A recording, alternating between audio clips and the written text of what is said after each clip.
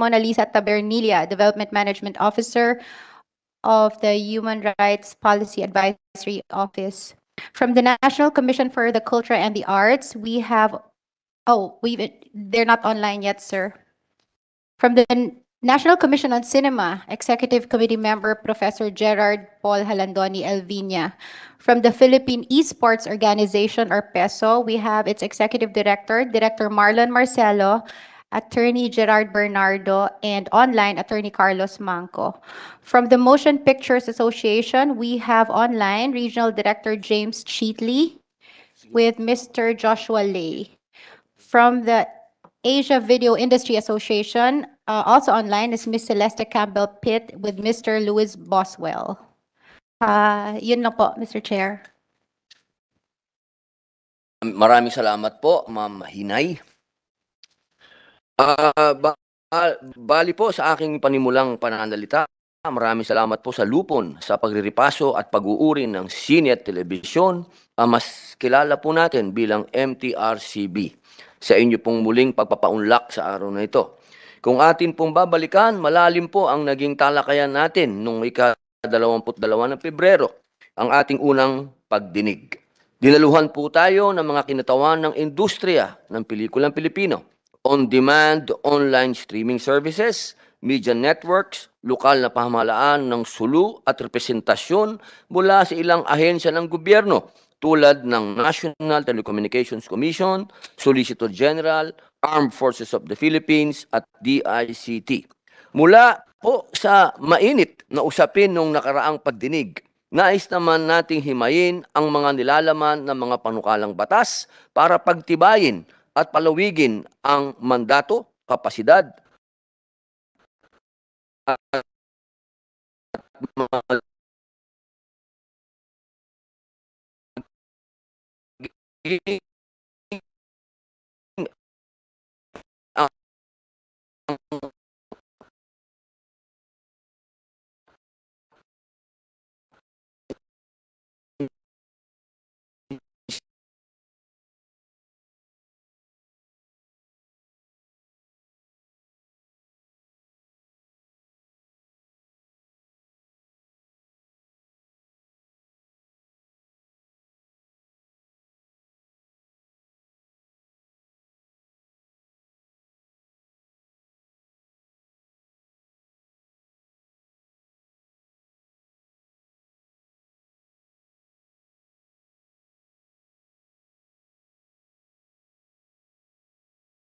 streaming services sa ilalim ng SBN 1940 ng inyong lingkod as SBN 1178 ni Senator Tolentino.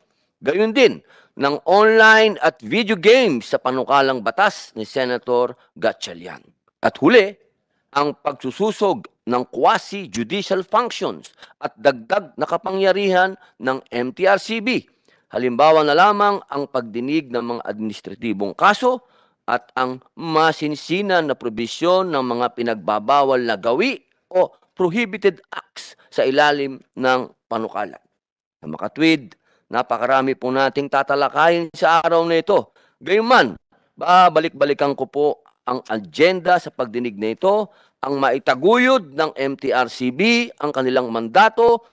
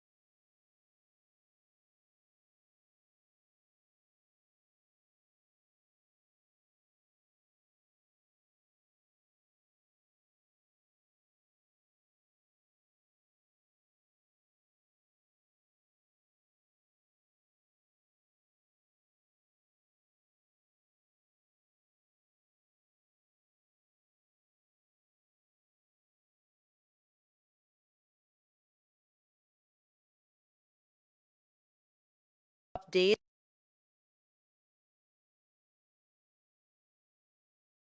distribution and reproduction of movies and television programs that do not go through the board.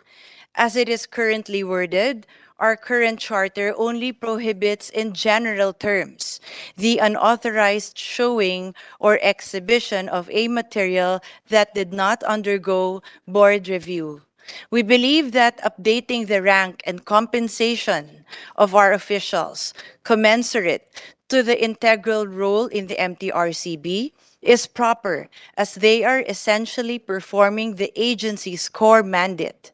And it is respectfully submitted that this is but just to consider their contribution, not just to the betterment of the MTRCB, but to the welfare of the viewing public, most especially our children.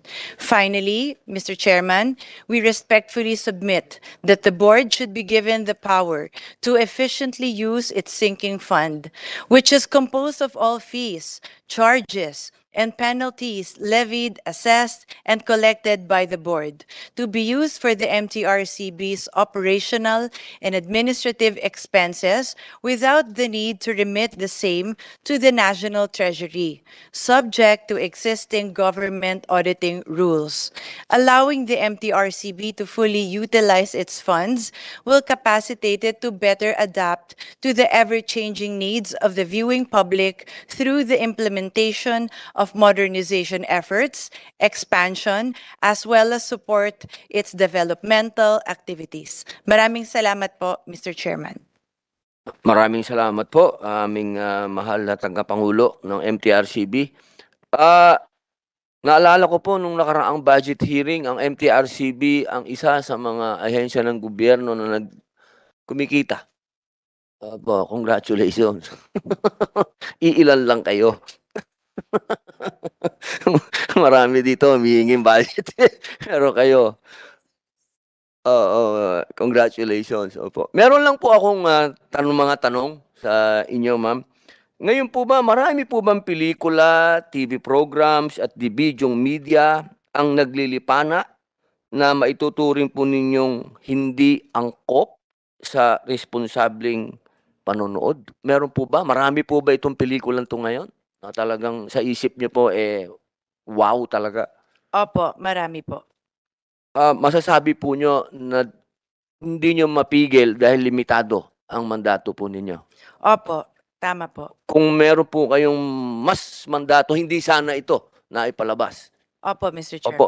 Ah, mga ilan po yung average nito sa palagay nyo? Ito po ba marami na talaga sa palagay po ninyo? Base po sa complaints na natatanggap ng aming ahensya, hindi po namin mabilang. Dahil Ganun kadami? araw po may may complaint po kaming nare-receive with regard to materials that are streamed online and nakikita po sa mga user-generated content.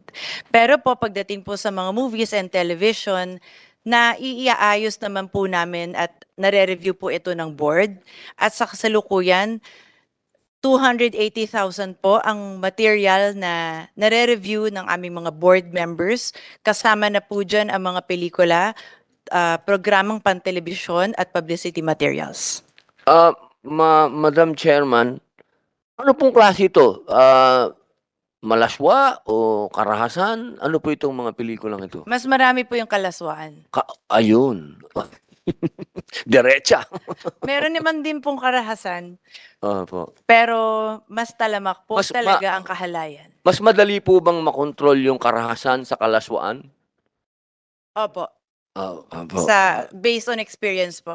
Sino po ang mas madaming nabibiktima? Halimbawa po sa age bracket.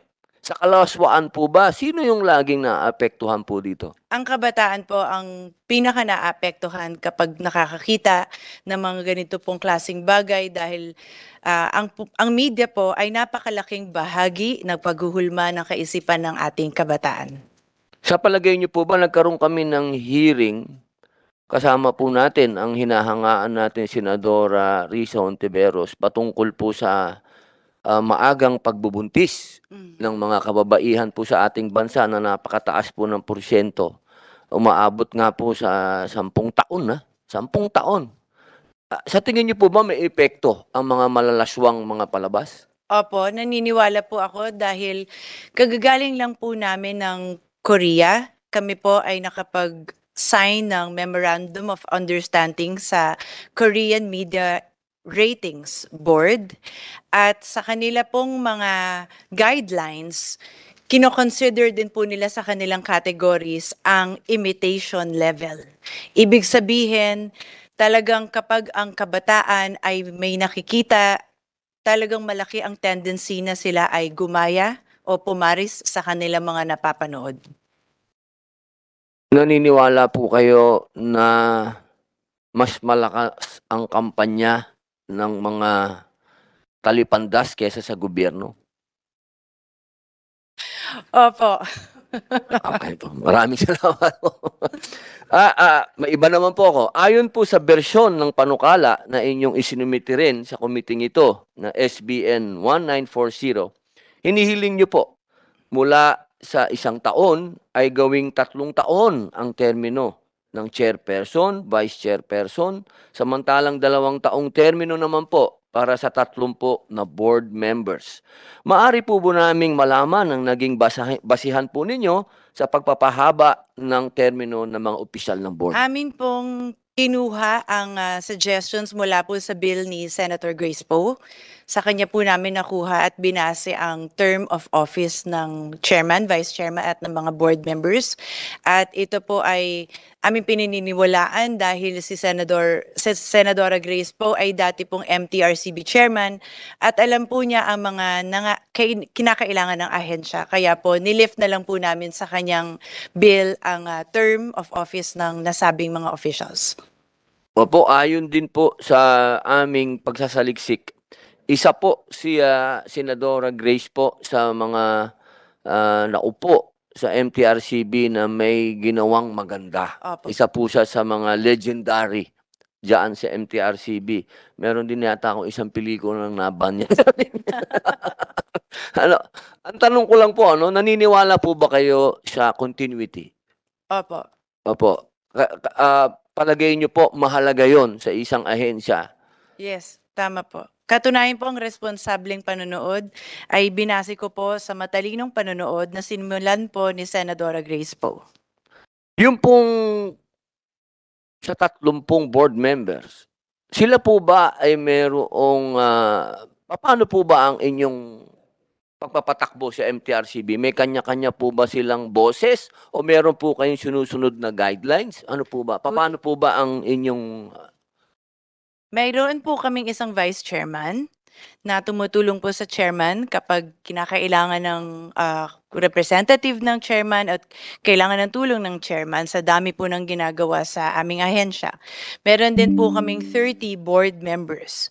At ito lang po ang board na sa aking pagkakaalam ay talagang ah, pinapractice at at ginagawa ang mandato ng ahensya.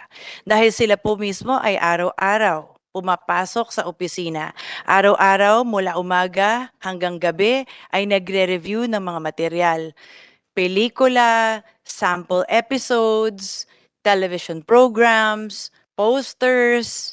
Ma ma'am, maputol ko po kayo. Ilan pelikula po ang pinanonood ng mga 30 na yan? 30? Ang average po sa isang araw is 8 to 10. Depende po. Kapag may film festival, mas nadadagdagan po. M- meron naman po silang psychologist o psychiatrist pagkatapos. Hindi kayo Apo. naapektuhan na sila sa pelikula. Hindi naman po. Comprised po kami ng five lawyers sa aming board. And then 15 of them are from the media and entertainment industry. And then all the rest po are from different walks of life. Ang composition po ng aming mga board members, kail alalahanin po natin, is a very tiny composite of the society.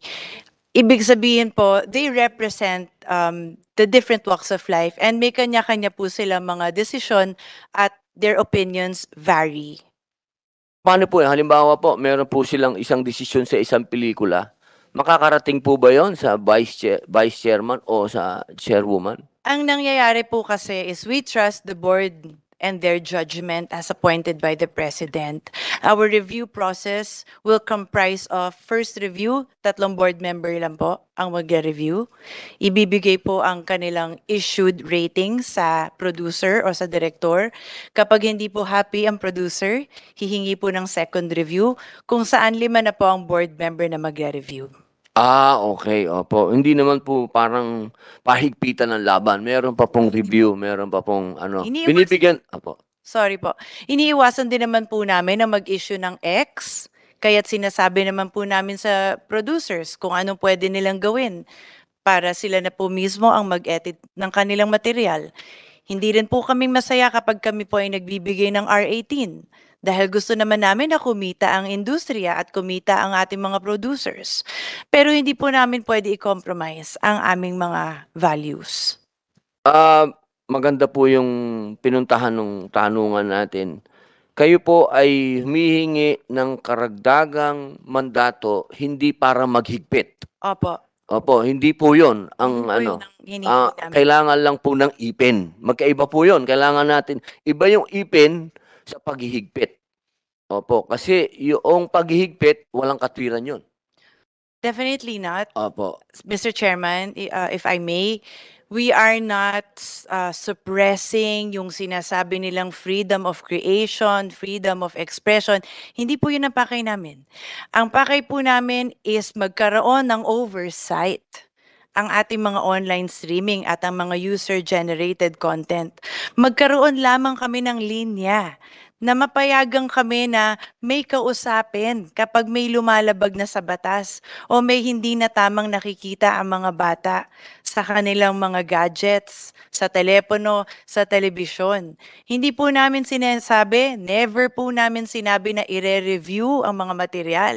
Napaka-imposible pong mangyari nun. All we want is a direct line to them so that we can tell them where they're going wrong. This is not acceptable in our country. We can issue notices and we expect them to take action. Galing. Ah, bago po 'yan.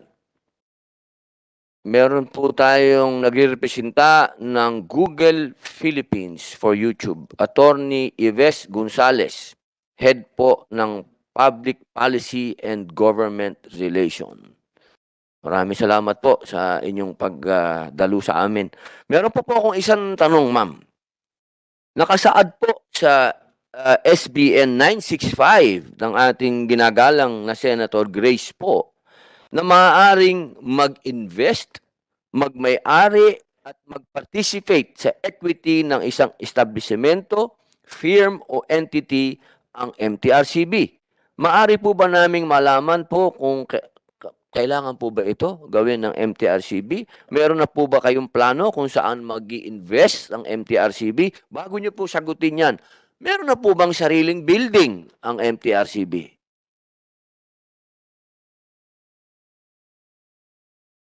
Opo, meron po, Mr. Chairman. Kayo po ang may-ari ng building? Opo, pero napakaliit po. Ah, inyo na po yung lupa, inyo yung building? Opo. Gaano po kalaki? Kasi parang yung pagkakasabi, nakapat, napakaliit. Hindi na po ba kayo kasya? 600 square meters po, Mr. Chairman, na apat na palapag. Ah, Tatlo ilan lang po po, ang sorry. empleyado ng Tatlong palapag, pasensya na. po. tatlong palapag? Ilan po ang empleyado ng MTRCB? We have 60 plus employees.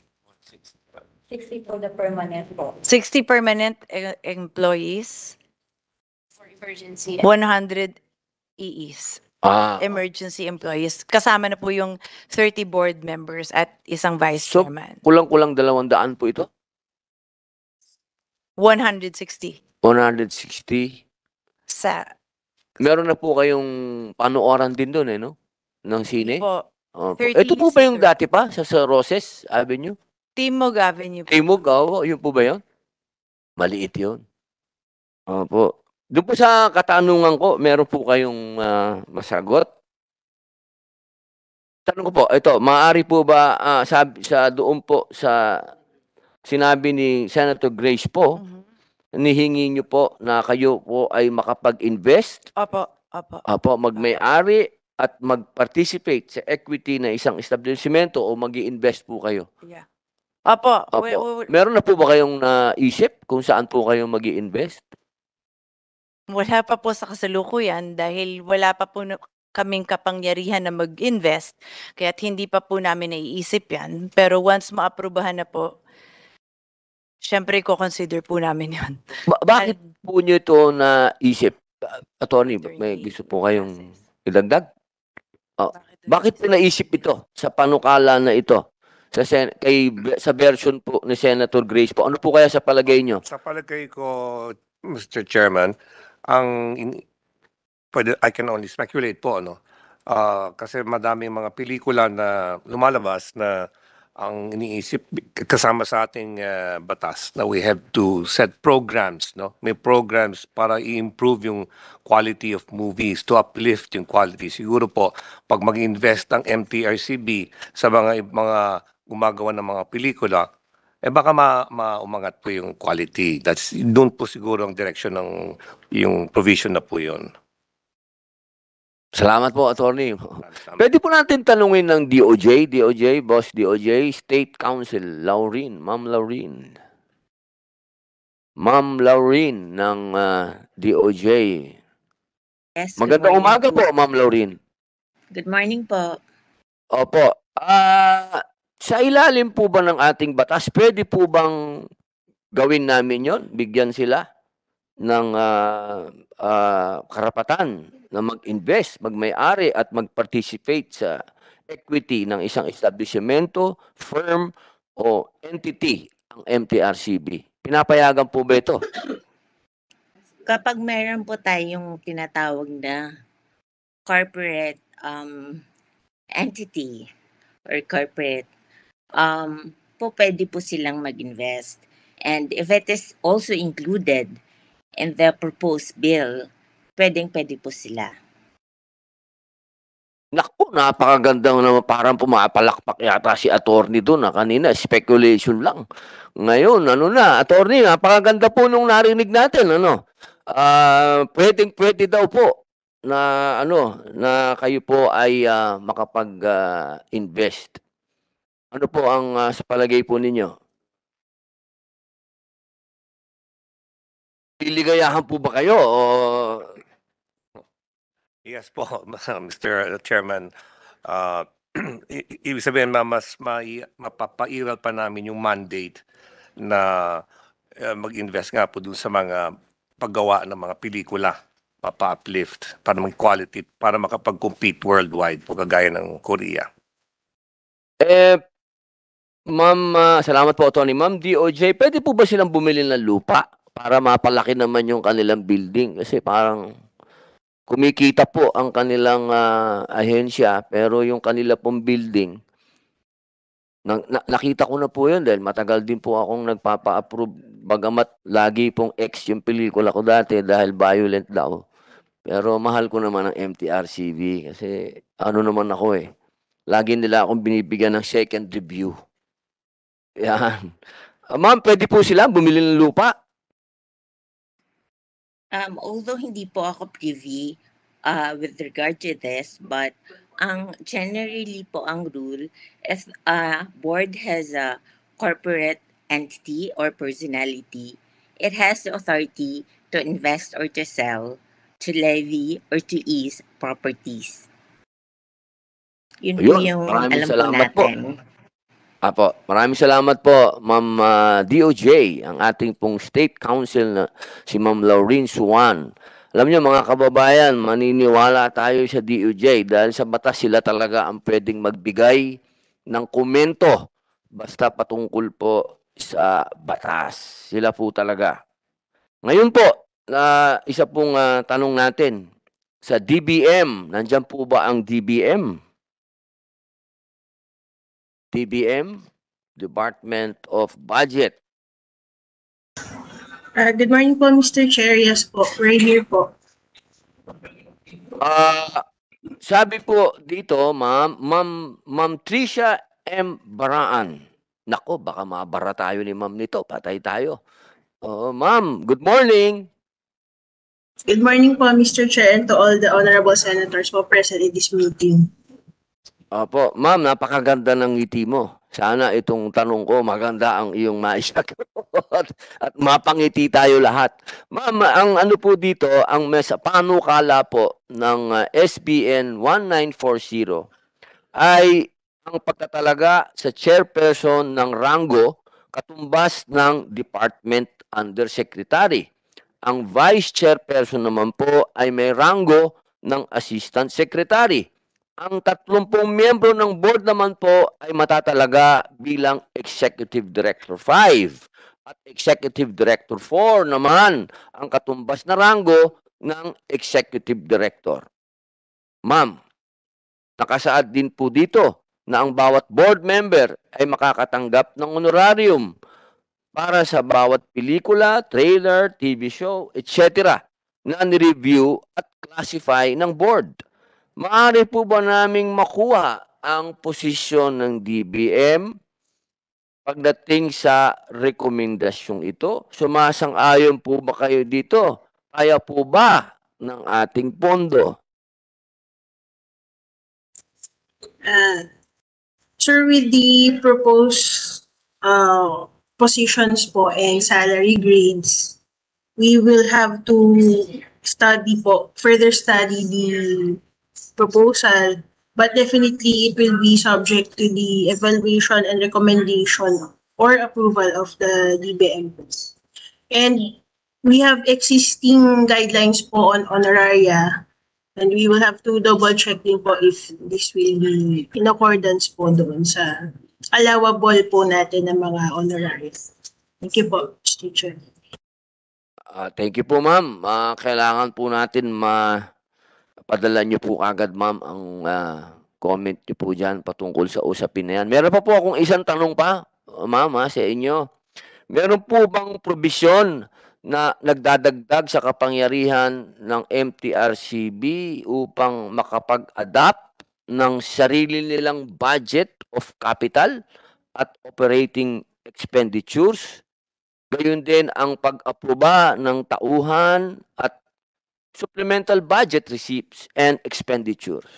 Base sa panukala, nais din po sana nating madagdagan ng kapangyarihan ng MTRCB upang makapagrekomenda ng kanilang staffing pattern. Gayun din ang pagrebisa ng compensation package para sa mga opisyal at empleyado ng board base sa approval ng DBM. Ano po ang posisyon ng DBM tungkol sa dagdag kapangyarihang ito?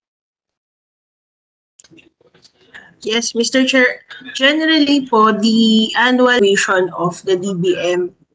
So, currently po, si MTRCB, meron po siyang budget under the GAA and dun po sa existing, meron din po silang authorized po na ginagamit based from the from their fees. So if mabibigyan po si MTRCB ng additional uh, power to use their income, the same should be subject po to the usual and existing budgeting, uh, auditing, and accounting laws, rules, and regulations. But yung sa supplemental budget po, nak- nakasalalay naman po yun sa constitution na pag may additional fees lang po yung magkakaroon ng supplemental budget and the same should be supported with additional sources of revenue din.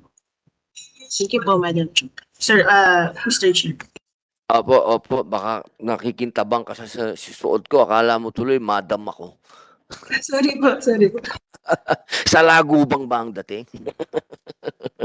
Ah, pwede po ba nating tanungin din ang ah, Civil Service ah, Commission? Civil Service Commission. Ah, magandang umaga Concha. po. Attorney Magandang umaga po. Romulo V. Concha Jr. Sir, magandang umaga po. Magandang umaga po, Your Honor.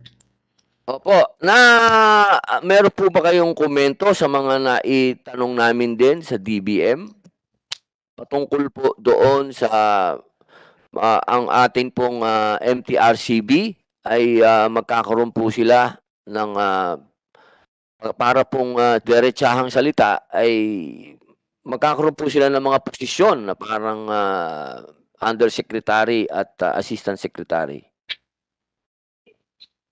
Ah, base po doon sa rekomendasyon na nakasaad po dito sa proposed ah, subject ah, Senate bill po no, ah, sa civil service po no, ang amin pong ah, ah, ano lang po no na dapat ito po ay ah, in accordance with civil service rules and regulations po no. Ito pong ating ah, ah, stopping pattern ay isasubmit po sa amin at upang ah, makita po namin at ah, ma-review rin po ng ah, Civil Service Commission po ang nasabing panukala.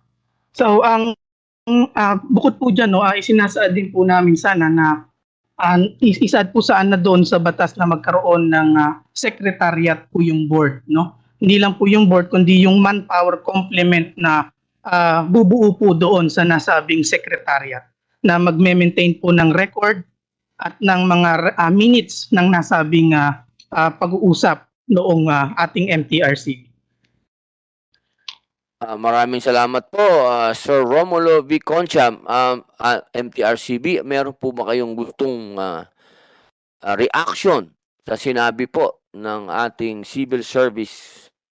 Salamat po, Mr. Chairman. We accept and we welcome yung mga suggestions ng civil service and ng DBM. We will wait for what is allowable. Anyway, this is just a proposal because para sa akin, sobra po, high performance ang aking mga board members at tunay ko pong ipinagmamalaki, all 30 of them, including the vice chairman.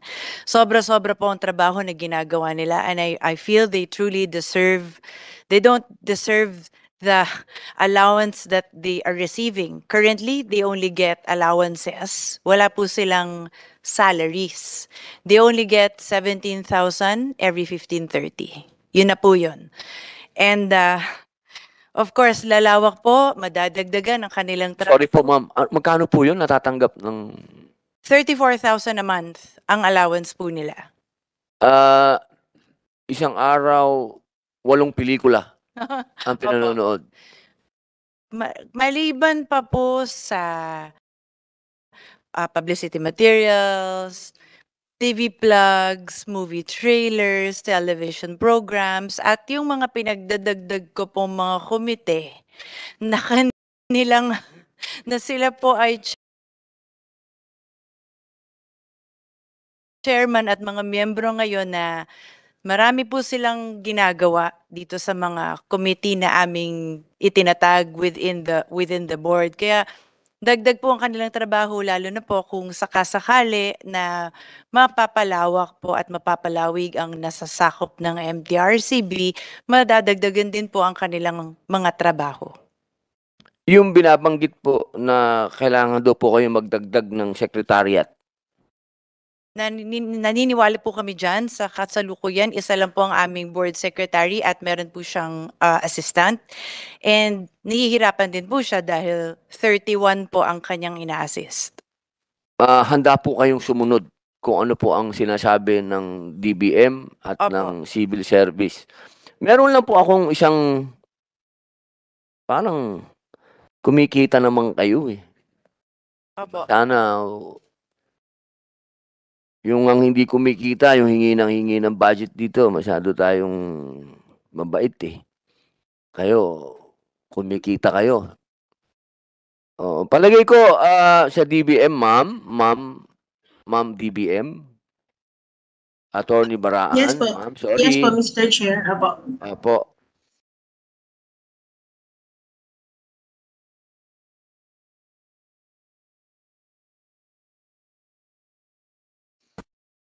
Hindi po ba Actually, sir, po natin, nagsasubmit po sila ng budget proposal kay DBM on ano po yung kailangan nila at yung mga may implement po nila for the next fiscal year. And then, may guidelines po tayo yearly na nasa budget call kung ano po yung mga allowable at hindi. And if makita naman po natin na bis, if the, the same is in accordance po dun sa guidelines and talagang kailangan ng agency, same will be included naman po in our uh, national expenditure program po for the succeeding year. Ganyan po. Thank you po. Thank you po, ma'am. A- aware naman po din ang DBM na kumikita tong ahensya na ito, ma'am, ano? Yes, sir. As I've said earlier po, meron po silang currently na special account in the general fund we, uh, which is sourced from their fees and income po. So, you'll have to double check din po yung utilization of the MTRCB of the said fund. Thank you po. Ma'am, utilization daw ng said fund. Mr. Chairman, bago po ako pumunta sa utilization, nais ko lang pong banggitin. Yung talagang nakatalaga sa presidential decree na allowed allowances ng mga board members ay 5,000 piso lamang po. Kaya lang sila nakakatanggap ng 17,1530 or or 34,000 in total dahil ito po ay nakastipulate sa GAA which is the General Appropriations Act. Kapag ito po ay nawala, then mawawala na rin at ma- makakansela na rin ang matatanggap nila. Kaya't kinakailangan po sana na magkaroon na ng kalinawan ang kanilang mga salaries, honoraria at ang kanilang um, karagdagang makukuha sa mga karagdagang trabaho. No? With regard po sa DBM, nung kami po ay nakipag-konsulta sa kanila, uh, we were made to understand that ang ruling po nila with regards to uh, positions is scrap and bill. So, ibig sabihin, hindi daw po kami pwedeng mag-create from scratch ng mga karagdagang posisyon o ng mga tao.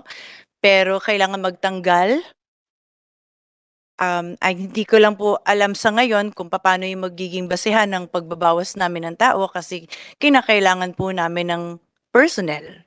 Kailangan po namin ng tulong sa magiging karagdagang mga trabaho na ibibigay rin po sa amin. Sa kasalukuyan po, meron po kaming 616 million 1,740.92 pesos as of February 28, 2023 na nasa aming sinking fund.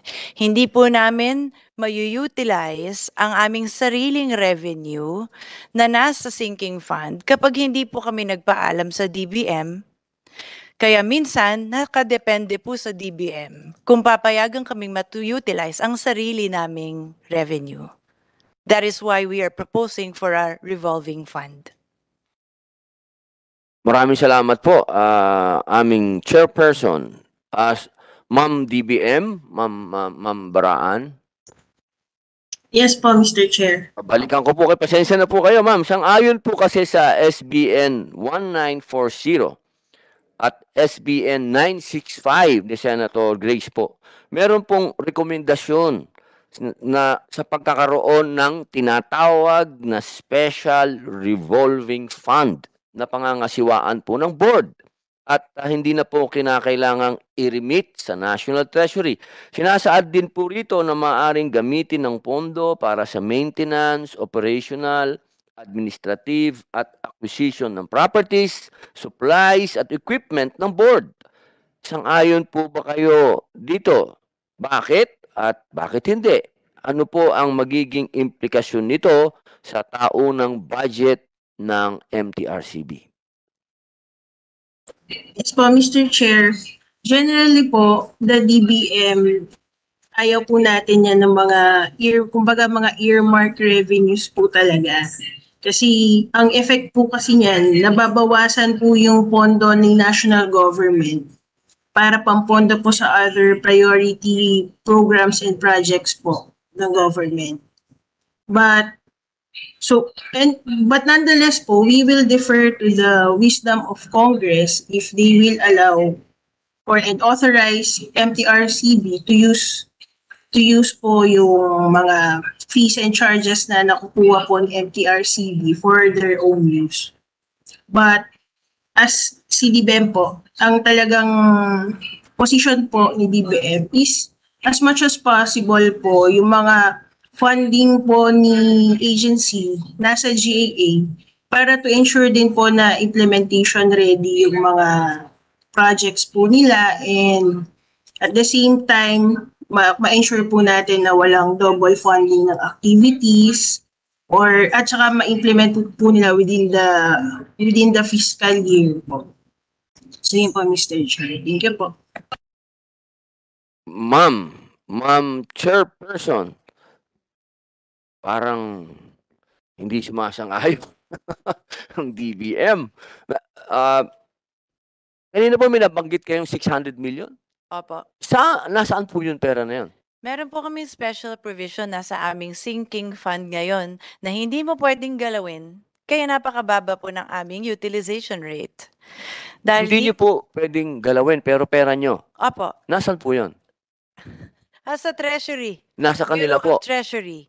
Yun po yung ayaw nilang pagalaw sa inyo. Opo. Pero pera nyo. Opo. Sa, para po bigyan ng linaw, Mr. Mhm. Chairman, gusto ko lang pong linawin, yung pong hinihingi namin at pinopropose namin tuwing budget hearing, ang hinihingi lang po namin dito is the, sa government is sa personnel services. Pampasweldo sa aming mga staff and employees. Pero lahat po ng MOOE at ng capital outlay, galing po yan sa sarili naming sinking fund. Kaya po namin gusto ngayon ng revolving fund dahil ibig sabihin po, dito magkakaroon na po kami sana ng kapangyarihan na ma-access ang sarili naming fund at ma-utilize ang sa- sarili naming fund na galing naman sa sarili naming revenue sa pamamagitan ng pagtatayo ng sarili naming bank account sa isang government bank. Kasama ko po, ah, Mr. Chairman, ang aming ah, city budget, city, ang budget officer ng aming agency, si Ma'am Early Terado, para po ma-expound pa po niya Sige ang po. ating pinag-uusapan. Salamat po. Maraming salamat po, Ma'am Chairperson. Miss Linda Tirado. Nako, um, Ma'am ito naman, Tirado. Ito na. Ang ganda ng labanan na ito. Ma'am, tirahin mo. Magandang umaga, sir. Ah, regarding po sa sinking fund po, the review of legal basis pointed out that some of the compensation received by the board then could not be charged from the authorization from the FTRCB sinking fund, as stated in special provision number one of the General Appropriations Act under MTRCB, which reads as follow. Ang nasa special provision po kasi namin dun sa gaan natin is yung fees, charges, and assessments in addition to the amount appropriated herein, 64 million, Ah, ma- Ma'am, Ma'am Erlinda, sorry ah, kapangalan mo pa naman yung asawa ko. Pero, pwede po bang yung must lang po nyo? Kasi, ano eh, parang puro bass, walang treble. Pa- pa- pa- pa- pa- Maraming salamat po. So, in short po, sir, yung nandun sa aming special provisions under GAA po, limited po yung aming paggamit ng sinking fund dun sa MOOE and capital outlay under our budget proposal yearly. So, ang under naman po kasi pag binasa natin yung ah, sinking fund sa section 20 po ng PD 1986, nakalagay po kasi dito na ang lahat na, ah, na notwithstanding any position of law, rule, rules uh, of regulation, executive or administrative order to the contrary, there is to be established a sinking fund to be administered at all times by the board. So yun po yung sinasabi dun sa section 20 ng PD 1986. Contrary po dun sa nakalagay dun sa special provision. So ang, ang, ang napansin ko po namin dito, yung special provision number 1 for MTRCB is limiting while section 20 of PD 1986 is encompassing it is specifically mentioned in Section 20 PD 19 1986 that all such fees and charges levied, assessed, and collected by the board shall be at the immediate disposal of the board, and its use are also very specific. So for the operational and administrative expenses of the board, at saka po yung including acquisition of necessary facilities, supplies, and equipment. So yun po yung nandun sa Section 20 of PD 1986 na at all times pwede pong i-administer ng board. And uh, since dun sa special provision po ng GAA, limited lang po siya, uh, dun po kami nagkakaroon ng problem on, ho- on how to use that sinking fund. We need pa the authorization of the DBM para lang po namin ito magamit. Yun, yun yun, sir, in short po. Maraming salamat po, Ma'am ah, ah, Erlinda Tirado. Ma'am ah, DBM, Tricia M. Baraan, ma'am, ka, pwede po nyo bang ah, komentuhan to? Ah, yes, yes, Mr. Chair. Apo, we'd like to clarify lang po, sir. Under PD po, uh, Section 20, ang nakalagay po doon is should the board may use it for their operational and administrative expenses. And dun po sa ating special provision, yun din naman po yung nakalagay, sir. The conduct of its operations po ni MTRCB. So, wala naman pong, kumbaga, wala pong disconnect po yung special provision with the existing PD po natin of the MTRCB. Kaya lang po, kaya lang po syempre po, yung nature po ng sinking fund nila is a special account in the general fund.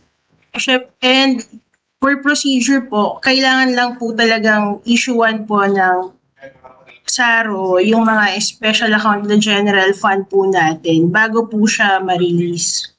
Pero, and then, yung, yung use po ng fund, especially yung mga proposed po na allowances, subject din naman po siya sa existing po natin na guidelines on allowances po and compensation. So, kung hindi po siya in accordance sa existing po natin na guidelines on compensation, hindi rin po talaga yan i-release ni DBM kahit na authorized po si MTRCB to use their sinking fund for their operation and administration expenses po. So, para malinaw lang po sir, syempre si DBM ini-ensure po na yung pag-use ng fund is in accordance po sa ating mga existing laws and guidelines po.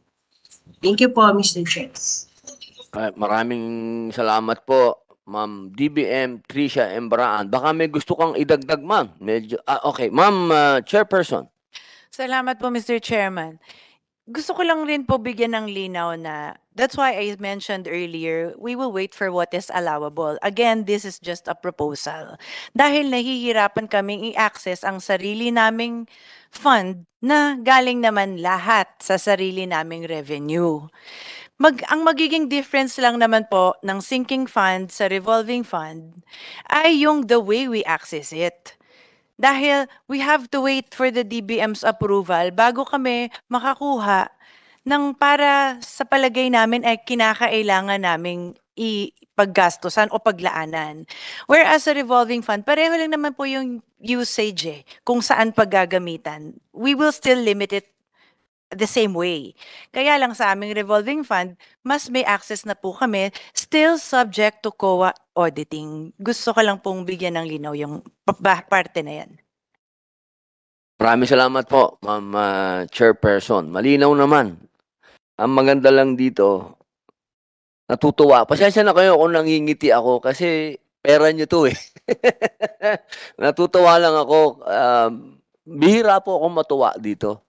Kasi madalas po dito talaga budget eh. Budget, mihingi ng budget, ahensya. Ito kasi pera naman. Pera nyo naman. Kaya napakagandang pag-usapan. Move na po tayo sa iba naman. Maraming salamat po, DBM. Maraming salamat din po sa kay Ma'am Tirado at kay Ma'am Baraan. Meron naman po akong tanong para sa BIR kay Attorney Edgar Alan Reyes II. Sir, may panukala po rito patungkol sa tax exemption. Base po sa SBN 965 at SBN 1904. Maaari po nating ituon ng ating atensyon sa slide. Meron po tayong slide. Medyo ano po ang masasabi ng BIR sa panukalang provision na ito? Ang ah, ito po oh, nasa harapan natin ngayon. Sir, Uh, good morning, Mr. Chair. Um, as the government agency that mandated to collect and assess taxes, uh, we are naturally inclined to um, express our reservation as uh, the tax exemption will uh, result to uh, diminishing of the revenues that the national government may otherwise collect. Um, however, um, if it is really um, intended to give exemption to the MTRCB, we suggest that it only be applied to taxes that is wherein the MTRCB is directly liable. Uh, uh, eh, um, for example, sir, um, in case of um, withholding tax, um, the MTRCB is only um, constituted as a um, remitting agent. They are not the one that is directly liable for that. Uh, for example, if for compensation um, income of, of the of the employees, um, the, the, li- the liable person for the tax is the employee. Uh, it will be deducted on the income payments due to them. Um, we suggest that the the provision be rephrased because it is rather um, rather such uh, too broad because it um, it can be read as um, covering all exemptions, meaning um, all taxes, even if direct or indirect. We suggest that it only cover um, exemption related to taxes wherein the wherein the MTRCB is directly uh, liable.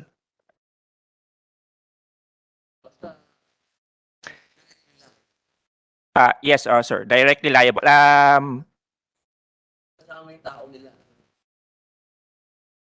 Ah, hin hindi po kasama yung tao tsaka yung um also there is a um there's also a revenue regulation uh, wherein wherein the MTRCB is also required to um, withhold taxes as to government money payments as to the suppliers of their goods and services. Um, MTRCB is not the one directly liable because um, it is um, withheld to the income payments due to their suppliers. So, uh, meaning, um, hindi, kasi it's, binabawas po yun sa income ng suppliers nila. So, they are, um, they are not the ones liable even if the law constitutes them as the remitting agent because it is due on the income of the supplier. Um, also, um, we have noticed that um, there is an intention under the law to make a eh, make MTRCB as a instrumentality, um, if I'm right, because um, under Section 3, there are, uh, the MTRCB is uh, vested with some, but not all, of the corporate powers under listed under the corporate code. Ah, gaya po nung mga nabanggit kanina yung um, they will they will administer a special revolving fund and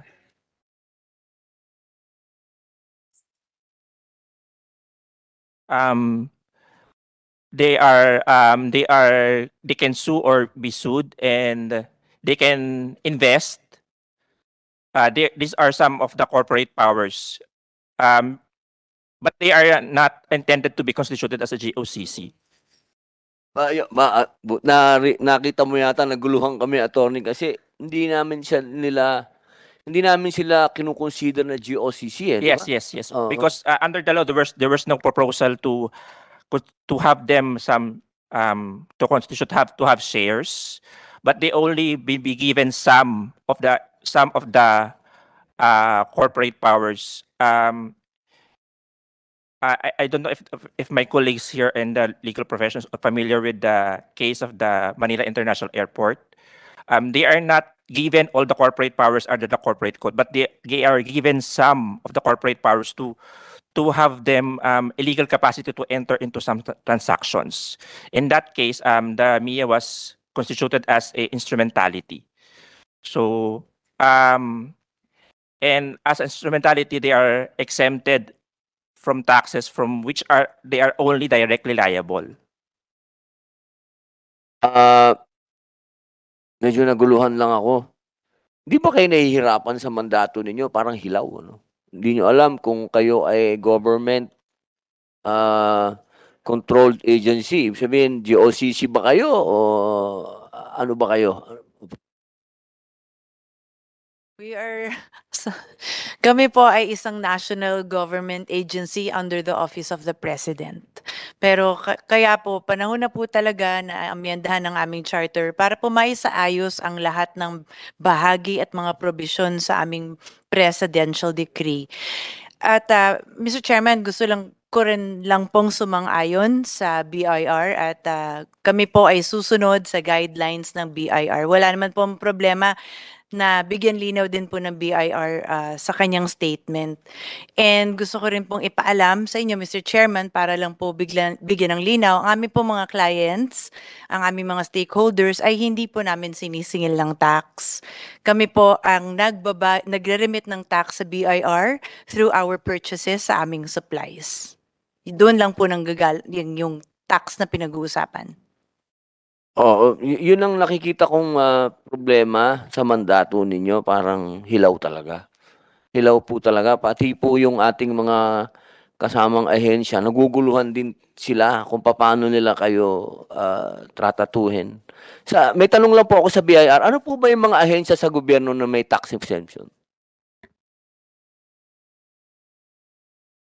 Uh, sir, for for those agencies that that are granted tax exemptions are those um first um those given tax exemption under their charters, um, and those constituted as um those constituted as um GOCCs and instrumentality, but insofar as in relation to the income generated in um in relation to their uh, governmental functions. Uh, not uh, not to those um, pertaining to propriet- proprietary functions. So, ah, maliwanag po doon, depende sa charter nila. Kung maiba po yung charter nila, maipasa po itong batas na ito, okay naman po ang BIR. Susunod po kayo, siyempre po, ano? Uh, y- yes, sir. As as long as the um they are um they are in accordance with other prevailing laws and uh, whatever jurisprudence that the Supreme Court has provided. Okay po, maganda po niyan, ah, hingin po namin yung, ito po yung, meron na po kayong kopya ng bill. Yes. Uh, Apo, pwede pong hi- humingi ako ng ah, position paper po ninyo. Uh, actually, sir, it's, it's under review. Um, we will um, communicate it to the secretariat once uh, our superiors have already signed the draft um, comment on the bills. Opo, sir, para maayos po natin. Kasi na, na, na naintindihan ko din po yung BIR eh. Kasi hirap din nung alanganin. eh. Alanganin po talaga. Itong presidential decree, alanganin po talaga. No? Kailangan na po talagang dagdagan o kailan ba na kailan ba tong PDA 1986 19 ano ba kayo 19 October 1985 1985 po. Oh my goodness. 1985. Okay. Okay, may, salamat po, sir. Maraming salamat po. Meron po akong tanong sa Department of Justice uli. Ma'am. Department of Justice, Ma'am Lauren. Ms. Graft, Ma'am, good morning. Chair. Doon po sa aming ah, ah, bill, nakalagay po doon, bibigyan natin sila ng quasi-judicial function. Function. Yan, medyo mabigat po yun. Ano? Gusto ko pong marinig talaga ang opinion po ninyo para magsagawa po sila ng pagdinig at magdesisyon sa mga kasong administratibo at sa ilang bagay pa. Maaari po bang ma- ang opinion po ninyo? Yes, good morning po once again. Um, actually, the DOJ has yet to submit our official position paper on the subject bill. Uh, we apologize as our draft is not yet ready for release in time for today's hearing. But in our um, initial evaluation, um, wala namang pong challenges or opposition to this proposal. As a matter of fact, this is long overdue and necessary na po talaga to expand the powers of the MTRCB. Yun po. Salamat po. Napakaganda naman ng sinabi ng ating ah, kasing ganda mo ma'am ang sinabi mo. Maraming salamat po. Isang napakaganda po nung madagdagan ang kapangyarihan ng MTRCB. Yan po ang ano eh, inaantay natin. So ibig niyo pong sabihin ma'am eh, yung pong ah, sa inyo pong opinion, pwede na rin po sila talaga mag-invest o mag-may-ari o mag-participate sa mga ah, establishmento ang MTRCB po. Ano pong opinion po ni John? Ito po kasi yung nakasaad sa ah, panukala ni Senator Grace po. Yes, uh, in regard the uh, corporate uh, powers and responsibility uh, proposed to be included in the uh, in proposed section 3 I think uh, or yeah section 3n um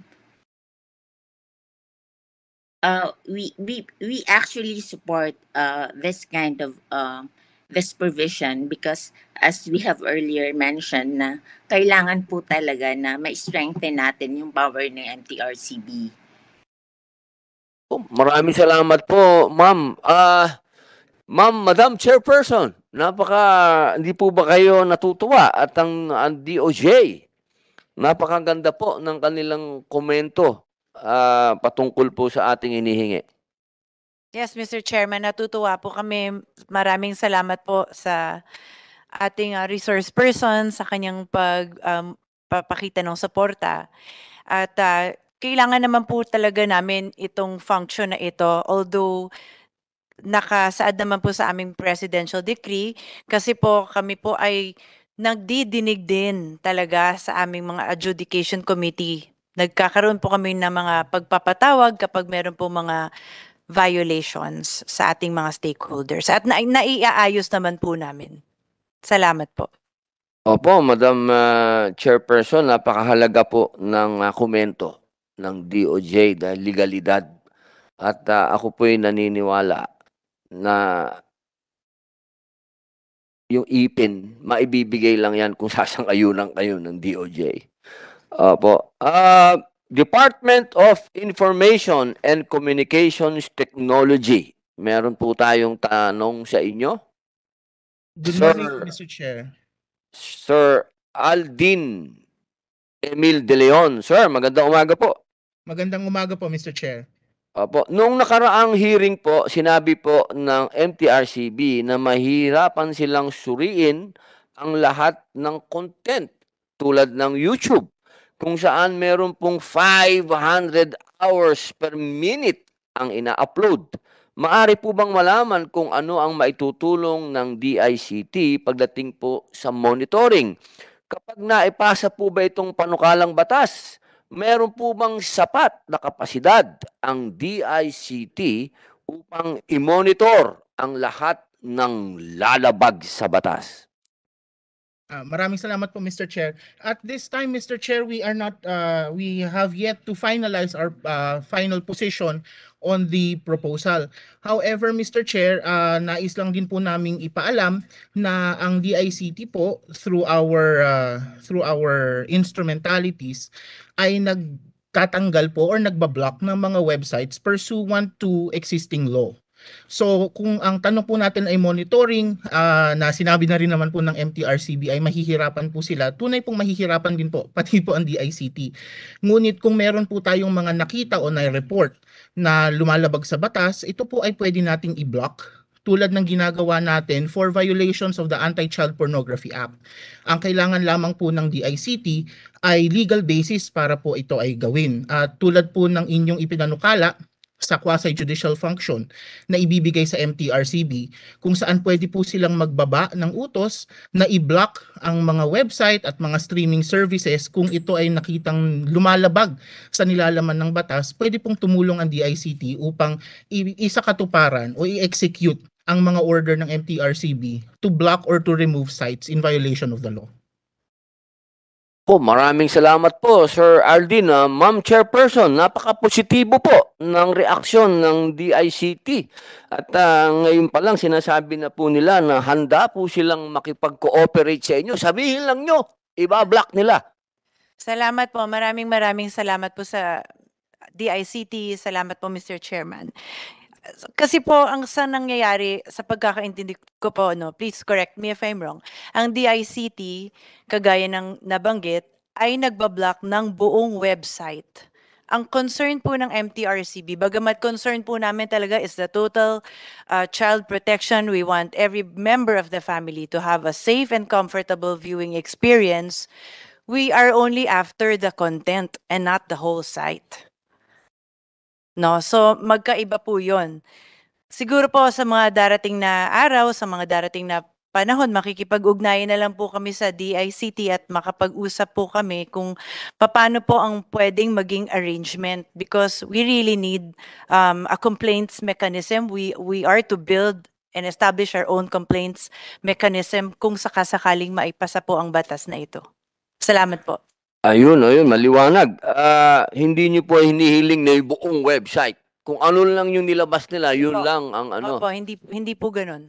Opo, opo, oo, ah, maganda, maganda, natutuwa ako. Hindi kayo hindi kayo hindi talaga paghihigpit. Hindi talaga paghihigpit yung ang ang tanong ko lang po, sa ngayon wala kayong ano eh, no? Wala kayong cooperation ng DICT sa ngayon.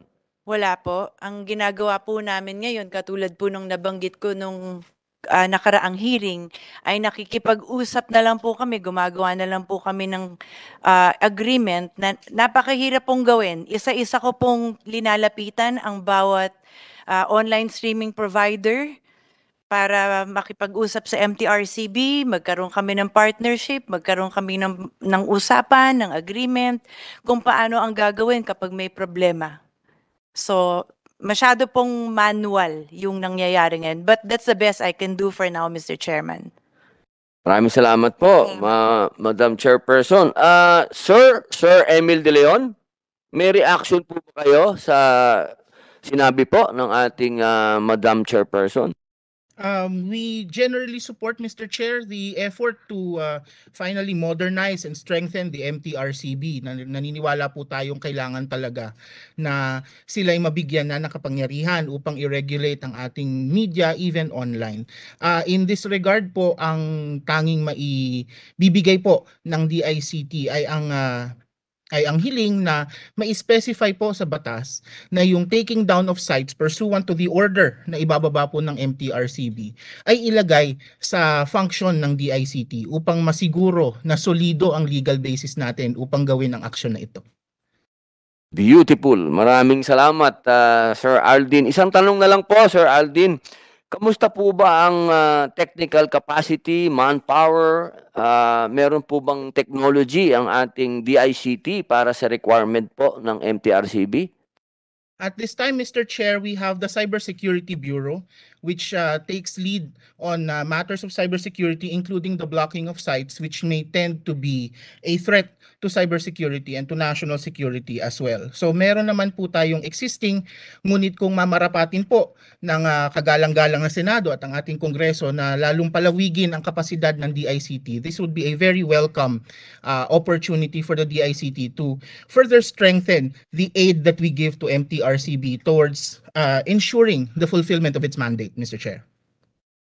Ay, maraming salamat po, Sir Aldin, na tunay po ang ah, inyong sinabi na dapat eh, suportahan po kayo ng ah, dalawang ah, kongreso ng mababa at mataas na kapulungan dahil nasa age na po tayo ng technology.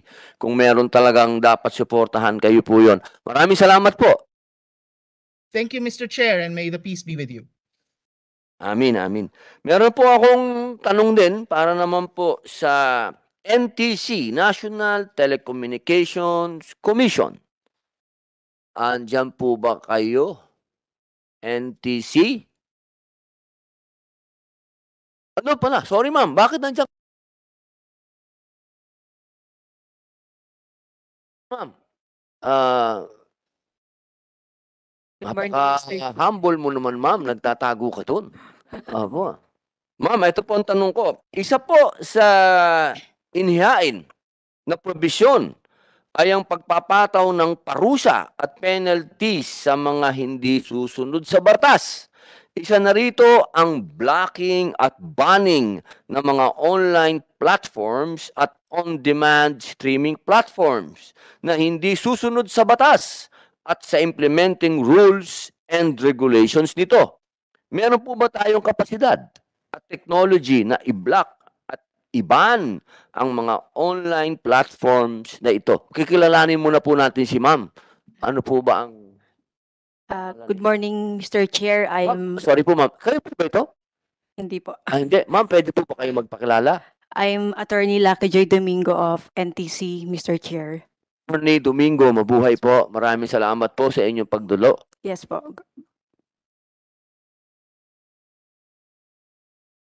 Okay. Ah, ah, ah, kayo pala yung last time. Yes Ma'am, po. maraming salamat, ma'am. At ah, kayo po ay dumalo ngayon ng personal. Kinagagalak po namin kayong makita at makasama. Thank you, Mr. Chair. Ah, unang-una po sa ah, gusto ko din pong express yung support ng NTC ah, sa ipapasa pong batas. Gaya po ng nasabi ko nung nakaraan, wala pa kasi talagang tayong existing law na nag-re-regulate ng online platform. Kaya din ah, hiniling ko noon at pabor talaga ako na magkaroon na tayo ng batas na, na mag- magre-regulate sa online platforms. Dahil po sa ngayon, wala pong mandato ang DICT at NTC na mag-block po talaga ng mga websites na ah, patungkol sa mga nagpa-pirate ng mga movies or yung content na hindi in accordance sa ah, regulations ah, or ah, ng MTRCB. Kaya po kung Mr. Chair, kung magkakaroon po ng batas, sihilingin po sana namin na ilagay talaga specifically sa batas na bigyan ng kapangyarihan ng NTC na mag-take down po ng mga i-endorse po ng mga websites or web links ng MTRCB for blocking.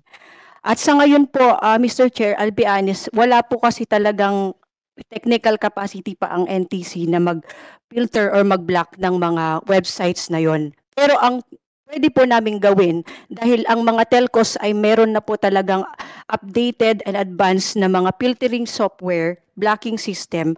Ang ginagawa po namin na ini-endorse po namin yung mga listahan na binababa ng mga agencies for blocking. So in case po, Mr. Chair, na magkaroon tayo ng batas, ah ah, nabibigyan ang MTRCB na mag-regulate ng mga online content, ah, so suportahan po namin yon at mag-aantay kami ah, ng listahan na manggagaling sa MTRCB for blocking. Ah, basta hiling lang po namin, Mr. Chair, na bigyan po kami ng legal basis to block para lang din po sa protection po namin. Yun po. Salamat po. Maraming salamat, Attorney Domingo. Napakaganda po nung narinig namin. Ma'am Chairperson, napakaganda po. Ano po ang inyong ah, opinion? Salamat po, Mr. Chairman. Salamat po sa NTC. Salamat po sa pagpapakita ng suporta sa uh, iminumungkahi ng MTRCB. Gusto ko rin lang pong ipapaalam, Mr. Chairman, kamakailan kami po ay nakipag-usap sa NTC. Pinuntahan po namin si Commissioner ah, Ella Blanca Lopez. At kami po ay nakapag-usap at ah, nabanggit na po namin sa kanya yung ganitong problema kung papaano kapag meron online streaming app na lumalabag sa batas, kung maaari po sana nila kaming matulungan sa pag-block ng app na ito. At maayos naman po ang kinalabasan ng aming usapan. Kaya salamat po muli. Isa naman ako bilib sa ating Madam Chairperson. Talagang doing her homework. Galing na pala kayo doon. yes, ma'am. Ah, Mr. Chair, in addition to po sa sinabi ko kanina, ah, hinihiling ko din po sana na idagdag na lang din po sa ah, proposed bill na pag ah, meron pong power ang NTC or DICT na na mag-endorse sa mga s- na nautusan or i-direct ang mga ISPs or internet service providers po na magbablock po ng mga website na yon. Dahil sa ngayon po sila po talaga yung may advanced technologies or filtering software or blocking system na makakatulong sa ah, pag ah, ano po pag-block po ng mga website or web links na lumalabag po sa um, MTRCB rules and regulations. Yun po Mr. Chair. So parang ano po ma'am, attorney, parang sa ngayon po parang yung ating technology sa NTC, wala po tayo noon, ano? Opo, Mr. Chair. Talaga po ang ginagawa lang po namin is dahil po sa totoo lang po nung last year po nung may mga nakausap po kaming mga ah, taga-ibang bansa na mga developers po ng mga filtering filtering software sa blocking system. Ah, sobrang mahal po yung yung kung hindi po ako nagkakamali yung isa po na nag-offer po noon ng ganong services is 1 million ang pinakamura na na filtering software. So 1 million pesos, hindi naman dollars Yes, yan. yes po, yung ano. Opo. So, yung mga iba po kasing internet service provider na maliliit, hindi po nila kasi kayang bilhin yun. Pero yung mga big telcos po, sila naman po ay may kakayahan na bumili ng mga ganun pong blocking system or filtering softwares. 1 million pesos para makapag-block yung pong yun pong pa- ah, mismong bibilhin po nila ng mga software, Opo. Mr. Chair. Mahal po kasi talaga. Sa ngayon po, Ilan, ilan ah, ba dapat ang software na kailangan dyan? Actually, Mr. Chair, iba-iba po kasi yung mga wala po kasing standard talaga na na bini, na binibigay ay na dinirect na bibilhin po nila. So ah basta po mer- Halimbawa, ma'am, halimbawa, ma'am, ang, N- ang ah, NTC, bibili tayo, halimbawa. O, magkano ang kailangan ng NTC doon? ah siguro po I'm not on the position to ah, Oo. speak on the matter. It Pwede is po more on bigyan nyo kami ng technical ano? technical ano po. Bigyan nyo kami ng study niyan kung magkano ang kailangan ng NTC para hindi na tayo dadaan pa kung kani-kanino. Kayo na lang. Napakaganda pong ano yan, Mr. Chair, ah, suggestion po. Ah, with that po, ah, I will tap po yung aming technical team sa NTC to study po kung ano po ang pwede naming ah, i-present na proposed budget for that for that to procure po yung ah, filtering or blocking system na Oo, kailangan. kasi may delay yun eh. Delay yun eh. Kung halimbawa, magre-report ang MTRCB sa inyo. Tapos, hihingi pa tayo ng tulong doon sa mga ah, telco. Di ba po? Yes, Mr. So, Chair. pag naghingi tayo ng tulong sa kanila, request-request din lang yon ano? May mga sigurado, meron pa yung mga balikan ng papel. Marami nang nakapanood noon. Oo. Marami na rin nakapag-share noon. Marami na rin nakapag-upload noon. Oo. So, may delay. Ang ayaw natin yung may delay. So, sana po mabigyan nyo kami, yung aming komite, kung magkano ba talaga yung kailangan yan. Total, meron naman silang 600 million. Ayun. Hingin natin doon sa DBM. Salamat po, Ma'am Attorney. Thank you, Mr. Chair. Opo. Ah, meron pa po pala isang tanong dito. Ah, Ito. Ah, ano po ang saklaw ng inyong mandato sa responsible responsible for the regulation and quasi-judicial functions? Kanina po kasi parang sa batas natin, doon po sa ating panukalang batas, bibigyan po natin sila, ang MTRCB, ng kapangyarihan na yon. Ano po bang opinion nyo doon, ng NTC? Na sila po ay pwede nang ah, mag-hear ng mga administratibong kaso o, opo, Ah, ang posis para sa akin po in my opinion po ah ngayon po kasi ang NTC ah quasi judicial body din po kami. Nag-hear and decide cases din po kami ng mga nagba-violate ng NTC provisions. So sa ting- sa akin po sa posisyon ko po ah, nararapat na talaga at napapanahon na mabigyan na din ng ah, quasi judicial power ang MTRCB para nang sa ganun sila na mismo ang makapag-hear and decide ng complaints na patungkol po sa kanilang mandato. nakakatuwa itong mga ah, resource persons natin, ma'am. Talagang nag-homework kayo, ha? Thank you very much, ma'am. Salamat po. Thank you, Meron po Mr. po kayong gustong idagdag? Wala na po Mr. Chair. Salamat. Okay. Salamat po. Itong ating susunod na tatanungin, hindi ko alam kung nakapag-homework ka dito. Ito, ma- ma- dito malamang tumagal ang usapan natin dito. Commission on Human Rights. Nandyan po ba ang ah, Komisyon ng Karapatang Pantao?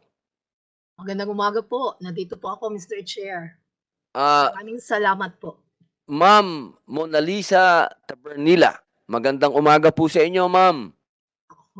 Magandang umaga din po. Ah, Mona Lisa Tabernilia po. Apo, ah, Ma'am Mona Lisa, napakaganda po ng inyong pangalan. Parang naalala ko tuloy yung honeymoon namin ng asawa ko. Nagpunta kami diyan. Pinuntahan namin si Mona Lisa. Opo, ah, ma'am, na, ka- nakapasunod po ba kayo sa aming pagdinig? Opo naman. Mula po Opo, kanina. salamat po. Ah, napakahalaga po ng inyong ah, opinion dito sa usapin nito dahil ah, ayaw po namin siyempre na may malabag na kahit anong ah, karapatan ng pantao dito po sa aming gustong maisulong.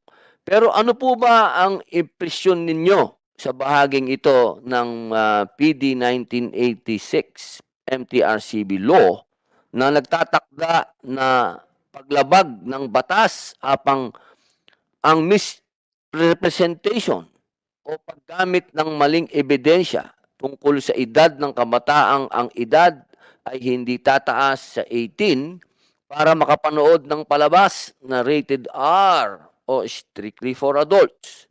Dapat po bang bigyang kaparusahan ang mga kabataang ito? Kung oo, ano po ba ang karapat-dapat na bigat ng parusa para sa uri ng batas na kanilang nilabag? Ayon po kasi sa batas, ang kabataan ay meron silang naiibang mga guidelines na sinusunod para sa kanila. Pag hindi pa po sila umaabot ng 18, pag may may nalabag po silang batas, sila ay pamamahalaan muna ng DSWD. So doon po muna sila ah, ang kaparusahan po ay gagawad sa kanila pag lumampas na po sila doon sa edad na yun. Kasi naniniwala po ang nan- naniniwala po ang gobyerno dapat may ganun pong paniniwala na ang mga bata po ay natuturuan at lalaki pa po mag-uunlad pang isip nila sa kanila ah, habang ah, tumatanda sila o habang umaabot sila sa ah, age of maturity ay sa kanila nalalaman kung ano yung tama at mali. At dun sa kabataan nila ay nire-respeto natin yun, yung kanilang karapatan bilang bata. Ganun po. Apo, Ma'am ah, Mona Lisa, mapakaganda po ng inyong iminungkahi. Ah, naniniwala po ba kayo, Ma'am, na laganap na ang ah, mga masasabi po natin mga palabas na yung usapin ng katulad po ng sinabi nyo na tama at mali ay nagiging questionable na dahil mas malaganap na yung mga palabas na yung mali ay ginagawa ng tama at yung ah, tama ay ginagawa ng mali. Ah, sangayon po ba kayo doon, Ma'am Mona Lisa? Totoo po yun at nakakagulo po yun sa mga sa kaisipan ng kabataan. Lalo pa po kung wala silang maa- maayos na tagagabay sa kanilang pamamahay o sa pamilya. Lalo na po sa sitwasyon ng Pilipino na marami po ng magulang ay nasa labas ng bansa at sila po ay pinapadala nilang pera, pera ang nagpapalaki sa kanila at ang mga lola-lolo, mabuti kung andyan, kung wala, paano? Ko, maraming salamat po, Ma'am Mona Lisa. Sa palagay niyo po ba napapanahon po na ang atin pong ah, MTRCB ay magkaroon po ng kapangyarihan para hindi naman po maghigpit. Kanina kanina pa po nila ah, ipinaliliwanag na kailanman hindi sila maghihigpit. Ang gusto lang po nila magkaroon sila ng kapangyarihan para magkaroon lang po ng ngipin para habulin itong mga talipandas na ito. Mhm. Sang-ayon po talaga ang Commission on Human Rights dyan. Kasi po, ah, napakalaki po ng role ng MTRCB sa pagbabantay ng, um, lalo na sa karapatan ng mga kabataan. Nakasaad po kasi sa UN, United Nations na Convention on Human Rights, ang pangangalaga sa mga kabataan. Um, ayon po sa UN na Convention on Human Rights kung saan signatory or nakalagda ang Pilipinas ay ang mga bata po ay may karapatan sa privacy o pag-iisa, pagsasarili, ah, right to information and right to protection ng mga ah, mas, ma, nakakasama na nilalaman ng media or harmful media. Ito pong mga karapatang ito ay pinagtitimbang-timbang po ito laban sa isa't isa according sa maturity o kamalayan ng bata at ng edad nila. Ang state parties po na lumagda dito sa kasunduang ito, sa Convention on Human Rights, ah, Human Rights Convention on the Rights of Chi- the Child, ay kailangan po nilang ah, ipag, ipatupad ang pag-comply or pag pagsunod sa mga convention na ito. Sa ayon sa nasasaad dito isa na dito ay ah, ang pro- pag-provide ng guidelines o ah, gabay sa pagprotekta sa mga bata sa kanilang pagkakaroon ng impormasyon at ng kanilang napapanood. Ang convention ay nagsasaad din nandyan sa Article 13, Article 16, at Article 17 ng konbensyon na ito ang mga bagay na ito na natu- natutungkol sa privacy, information, at ah, protection against harmful media. Ngayon po, um, ito pong um, pagprotekta sa impormasyon, kalayaan sa pamamahayan, ah, privacy, or pag-iisa at pagsasarili, at protection sa mapin- mapinsalang nilalaman ng media. Ito po ay tinitimbang natin. Ah, dapat po ay merong arm ang gobyerno para protektahan ito at yan po ay ang MTRCB. So kinakailangan po natin silang suportahan at tulungan para magawa nila ang kanilang dapat gawin. Kasi mahalaga po, lalo na sa kabataan, ang kanilang ginagawa. Ako ma'am, maraming salamat po ma'am ah, Mona Lisa. Alam niyo po habang nagsasalita po kayo, kinikilabutan ako sapagkat ah, ang inyo pong ah, ah, laging ah, tinutumbok ay yung atin pong mga kabataan na talaga pong sa panahon ngayon eh talagang naglipa na po talaga sa iba't ibang ah, platforms ang mga bagay na hindi po talaga maganda na kanilang napapanood. Ah, Ma'am, meron pa po akong isang ah, tanong. Isa na lang po ito, ma'am. Ito po ay ah, ano po ba ang posisyon ng ah, ah, CHR dito po sa sinasabi na ang MTRCB po ay pwedeng mag-aproba o mag-disapproba sa mga material na gamit ang batayan na proteksyon para sa national security, public order, at public health. Kaugnay po nito, ah, halimbawa po, ano, ang sabi po dito, ang MTRCB ay ah, magpapahayag. Ayaw po nila yung mga nagpapahayag ng hatred sa bansa, lahi o relihiyon na nagdudulot ng diskriminasyon, hostility, karahasan o stereotyping o pagkakatanggi, pagkakatangi laban sa mga Pilipino, katutubong bayan o anumang etnikong grupo sa loob at labas ng bansa. Ano po ang opinion niyo po rito, ma'am? Ayon sa nasasaad ko kanina, ang paglilimi niyan ay case-to-case basis. Kasi hindi pare-pareho ang bawat kaso o ang lahat ng kaso. Magkakaiba bawat kaso. Ang right to information, for instance, ang ah, kabataan, ang highest priority according sa UN Convention on the Rights of the Child, ang pinaka-highest priority ay ang mga mas bata, yung youngest, mga mas bata sa mga kabataan. Pero natitimbang din yan according sa paglaki nila. Kung halimbawa, malapit ng mag-18 ng bata, mas, mara, mas lalo na niyang naintindihan kung ano ang tama at mali. Pag lumampas na siya ng 18, ang right to information na ang mas mataas. Kasi hindi mo siya pwedeng saklawan kung ano ang dapat niyang malaman. Dapat ay may karapatan din ng tao na malaman kung ano ang nangyayari sa mundo, kung ano yung tama at ano yung mali, ano ang katotohanan at hindi. So, ganun po yon. Ang dapat lang po ay bawat kaso nililimi at natitingnan natin kung ano yung tama at mali dyan.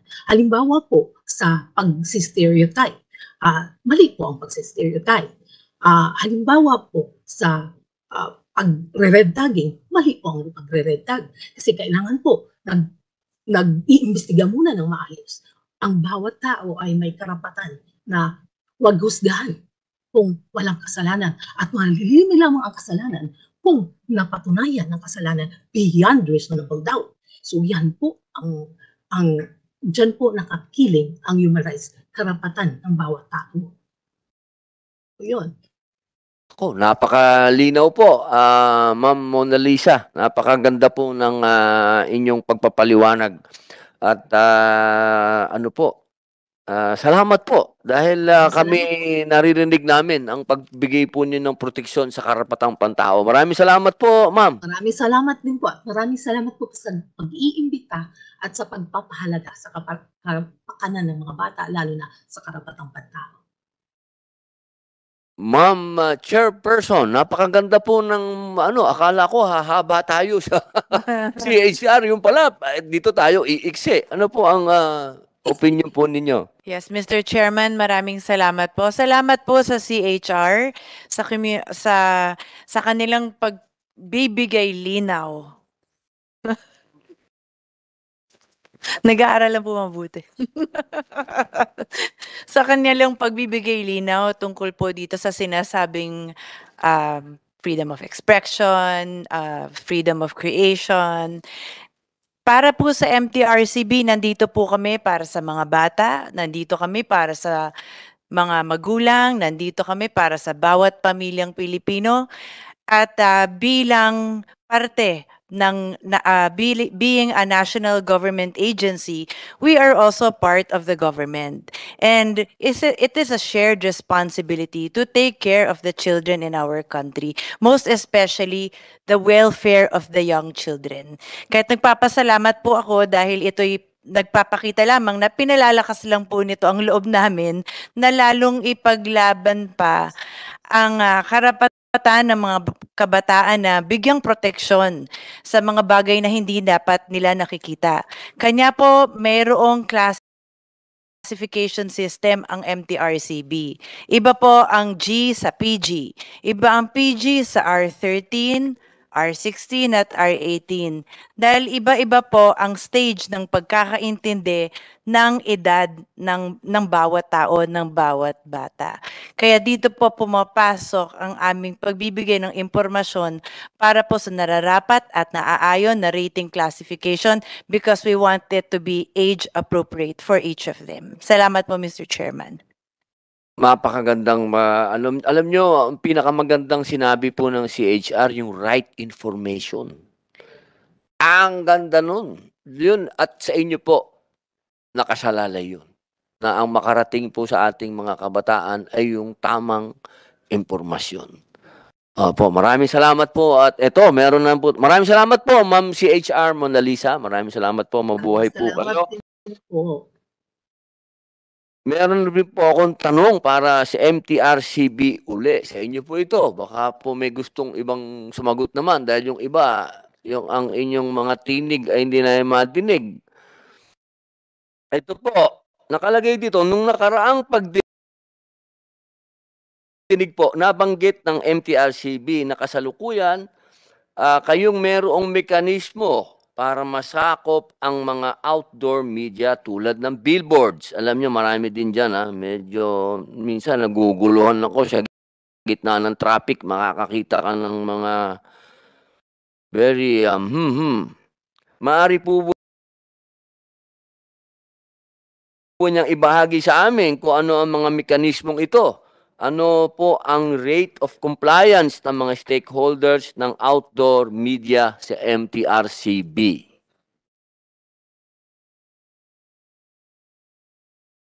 Ma'am, hindi ko makita. Attorney, Attorney Ana Marie Menzo. Good morning, Mr. Chair. Thank you po. Um, kasama po sa mandato po ng MTRCB ang i-review po yung mga publicity materials po yung tawag namin doon. So, essentially, yung mga um, example, may pelikula ipapalabas nila sa Billboard. Oh, malalaki, billboard. ang lalaki ng billboard sa EDSA. Yes Kasi po. lalaki ng building. So, dumadaan po yan sa MTRCB. Yun po yung sa mga television programs and sa mga movies po. So, even doon sa sinehan, pag pumasok po kayo ng sinehan, meron po silang mga standee o kaya yung mga mga pop-up po na may butas sa pwede kayo magpa-picture doon, dumadaan po sa amin kasi considered po siya as publicity material and dapat po G po siya para po sa lahat yung um, image na makikita po doon sa Yan, yan ang gusto kong madinig, ma'am. Dapat, ah, pagdating doon, wala tayong classification. Kung hindi para, kailangan para sa lahat. Di ba po?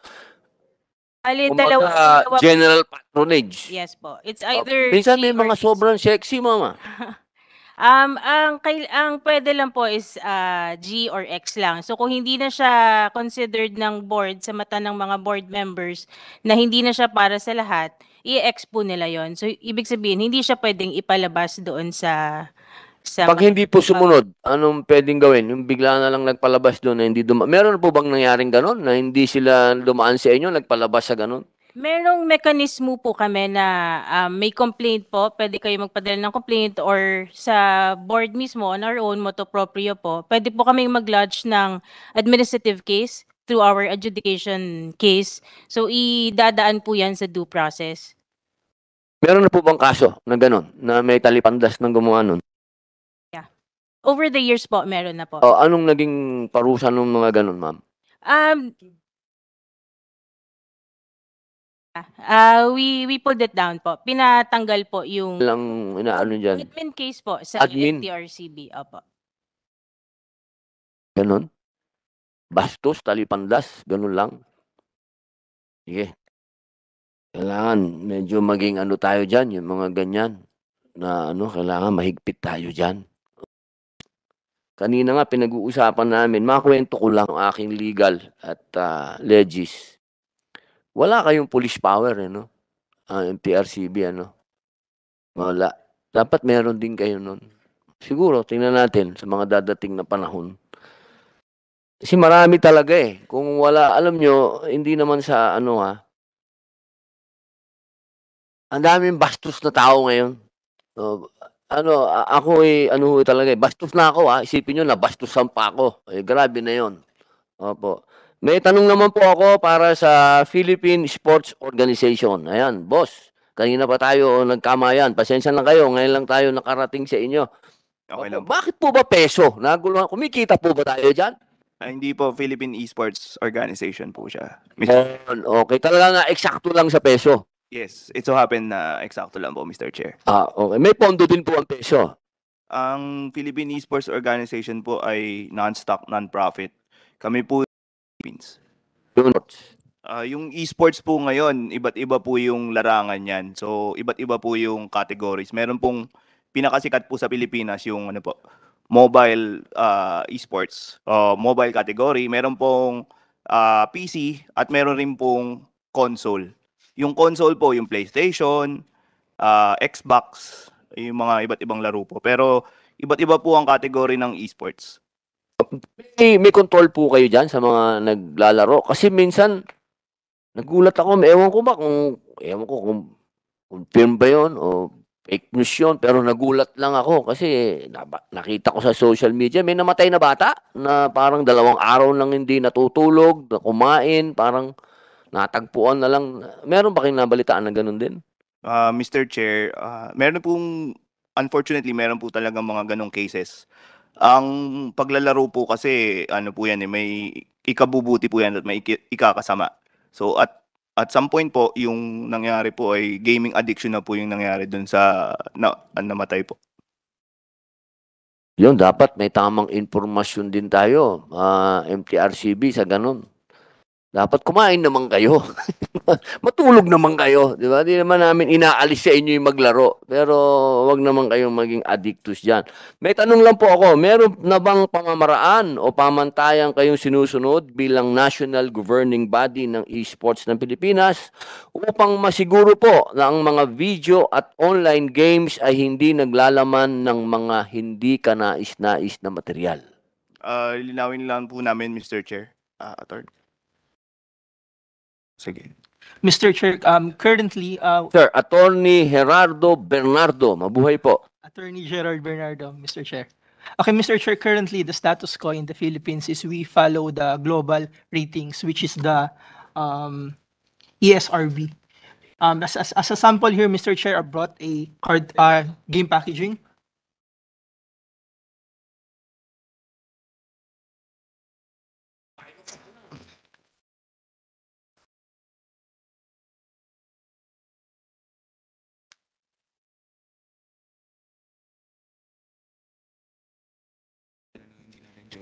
Yes. Sige.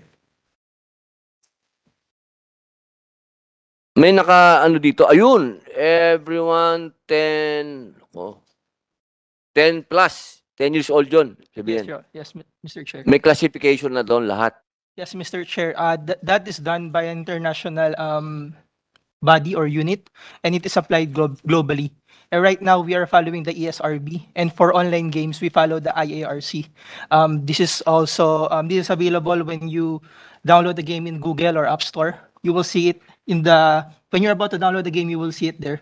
Nakasulat naman po kung ano yung rating nito or anong classification. However, Mr. Chairman, we just have to clarify that our expertise uh, is only within esports. And this game kasi are video games, which is different from esports. Also, we are not really privy to rating games. Okay, mag ah magkaiba yung esports sa games. Yung esports po, ah, part po siya ng mga video games. So normally po, ang video games, yun po yung mas malawak na ano po, classification. Ang esports po, specific po na video games po siya na pinaglalaruan at nagkakaroon po ng ah, Competition. competition. Ayun, oo. oo. So Kasi- katulad po nung Mr. Chair, yung last SEA Games po natin, nanalo po tayo ng dalawang gold at dalawang silver. Gamit po yung isang yung gold medalist po natin, Mobile Legends at ah, League of Legends Wild Rift na nilalaro po sa cellphone. Tapos po yung se- ah, ano po natin, Sa, yung saan nanalo, boss? Sa SEA Games po. Ah, gano'n. Gold medalist Okay, ah. Oh, Yes. Kayo nagpadala doon. Yes. Ah, congratulations, boss, ha. Salamat, Oo, salamat. Opo, opo. And yung susunod naman po, yung silver medalist natin, Crossfire, tsaka po League of Legends, sa PC naman po yun, sa PC or laptop. So, iba-iba po yung games na classified sa esports. Pero ang premise po niyan is part po siya ng video game category. Hindi naman yung ini-encourage, boss, yung meron nilaro yung isa sa mahal ko sa buhay dati. Binatukan ko talaga eh. Nanonood ako eh. Nagulat ako, nananagasa ng tao. Nangangarnap. Tapos, namamaril ng pulis. Tapos, nanganga, ano, pag sinagasaan, may score. Ay sa peso po, sa Philippine Esports Organization po, hindi po na in-encourage yun. Oo, yan. Um, Salamat naman. Ang mandato po namin is, uh, of course, to promote esports as a sport and may, ang may program po kami tinatawag na responsible gaming. Yung responsible gaming po, ang ibig pong sabihin nun, pwede naman po kayo maglaro ng video games pero asikasuhin nyo po muna yung assignment nyo, tumulong po muna kayo sa bahay, at ah, tapusin nyo po muna lahat ng kailangan nyong gawin bago kayo Piliin, maglaro. piliin siguro, sir, yung ano, yung nilalaro nila. Masyado namang violente yun. Sipin mo, namamaril ka ng pulis. Yes, Mr. Chair. Ang mga nilalaro naman po ng kabataan is yung nandun po dun sa rating na normally na-download po nila. Kapag po so- sobrang violent, yung App Store na po mismo or yung Google Play, hindi naman po supposedly nila dapat ma-download yun by age restriction. Okay. Ma'am, may tanong lang ako si MTRCB. Salamat, Sir Marlon Marcelo. Ah, ma'am, ayon po sa panukala ni Senator uh, Win Gatchalian, ang pagsasama ng video and online games sa saklaw ng MTRCB ah, sa pamamagitan ng pag-amyenda ng PD 1986. Sa palagay niyo po ba, dapat na mailagay po sa inyo ito, yung mga ganitong gaming? Meron naman silang ah, rating dito nakalagay 10 up.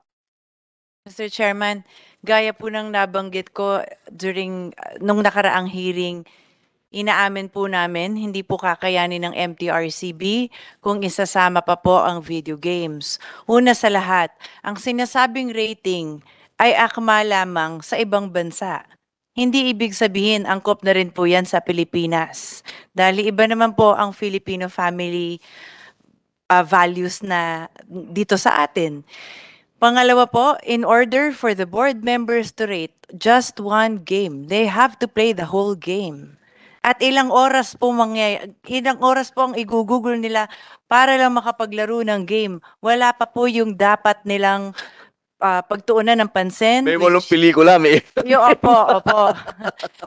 Yun po yung magiging problema doon. Kaya po, gaya ng nabanggit ko po nung huli, it will be a totally different structure. A whole new structure na hindi po belonging to our mandate na po ang video. tinatanggihan niyo po, parang tinatanggihan niyo na po ito, hindi na kaya, parang ganun. Opo. Yun na po yun. Pare, safe na kayo. Pwede na kayong mag-tubig dyan. Pasensya na po, pero gusto lang po namin maging tapat. Kesa naman po, tanggapin namin ng tanggapin ang lahat ng ibibigay. Hindi naman pala namin mafulfill ang aming mandato. Magiging unfair naman po yun sa inyo, Mr. Chairman. Ah, maraming salamat po, Ma'am Madam Chair. Ah, Sir Director Marlon Marcelo, nakahinga ka ba? Ah, oh. Mr. Chair, ano naman po, ah, very receptive naman po kami sa ah, sa nangyari. Pero ah, for for us naman po kung ano po yung pwede namin maitulong, we will we will definitely help. So, yun po. Opo, ma maraming salamat po. De, totoo, mukhang ano naman si boss, nanalo nga kayo sa ASL. Congratulations ha, pare ha.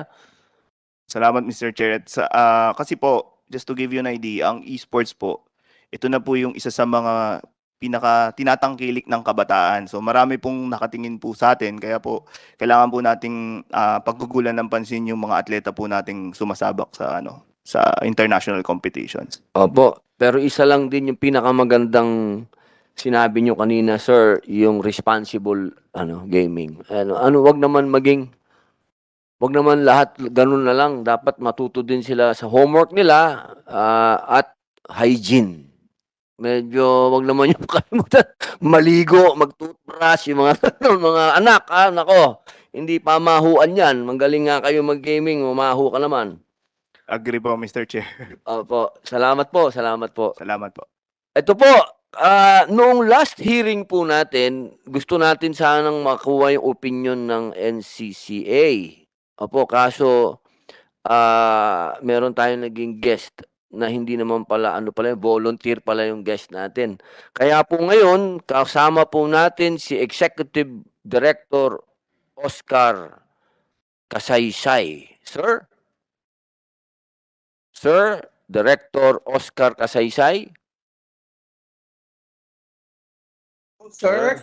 Yes po, magandang tanghali po, sir. Sir, magandang ah, magandang magandang ah, patanghali po sa inyo, Sir Oscar. Ah, pasensya na po, mukhang kumakain na yata kayo. konti na lang po to, konti na lang, konti na lang. Matatapos na rin Yes. po tayo. Opo. Pasensya na nung- po, Mr. Chair. Nung, nung huli, pwede po kayong mag ah, merienda. konti na lang po ito. Mga, ano.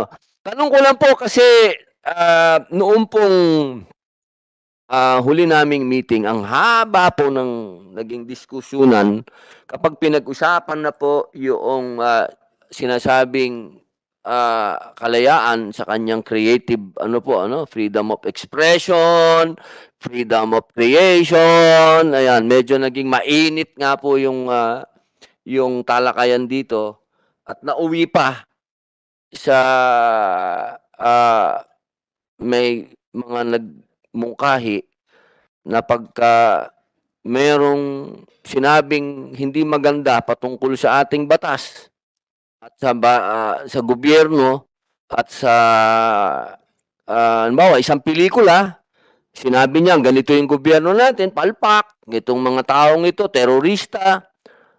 Pero dahil fiction ito okay lang dahil nire-respeto natin yung freedom of expression.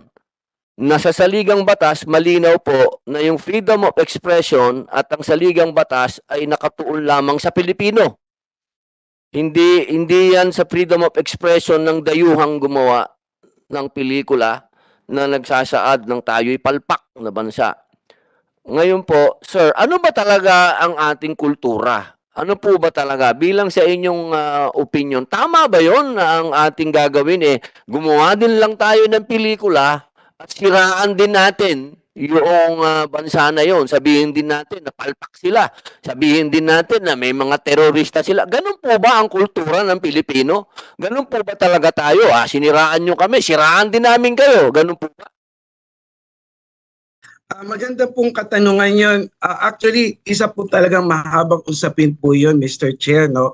Pag pinag-uusapan na natin yung kultura at mga values ng Filipino. Ah, actually po, nagkaroon ng mahabang diskusyon ah, tungkol dyan ang NCCA, NEDA at ang DepEd. Actually, nagkaroon ng separate studies kung ano ba talaga yung Filipino values nung panahon ng 2017 hanggang 2019. At yung uh, study na to ay nagkaroon ng pag-identify ng 20 values no to attempt to address the first component of the PDP 2017-2022 chapter 7 po which defines the ito po yung mga core and shared values of the Filipinos for the common good. Ah, ito po yung mga napag-usapan natin. Unang-una, yung love for the family and community.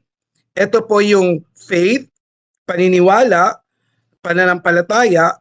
Num- number three, attaining education. Number four po, yung lifelong learning and adaptive, adaptability. Number five, health and wellness na values natin. Number six po, addressing basic needs, ensuring work and livelihood.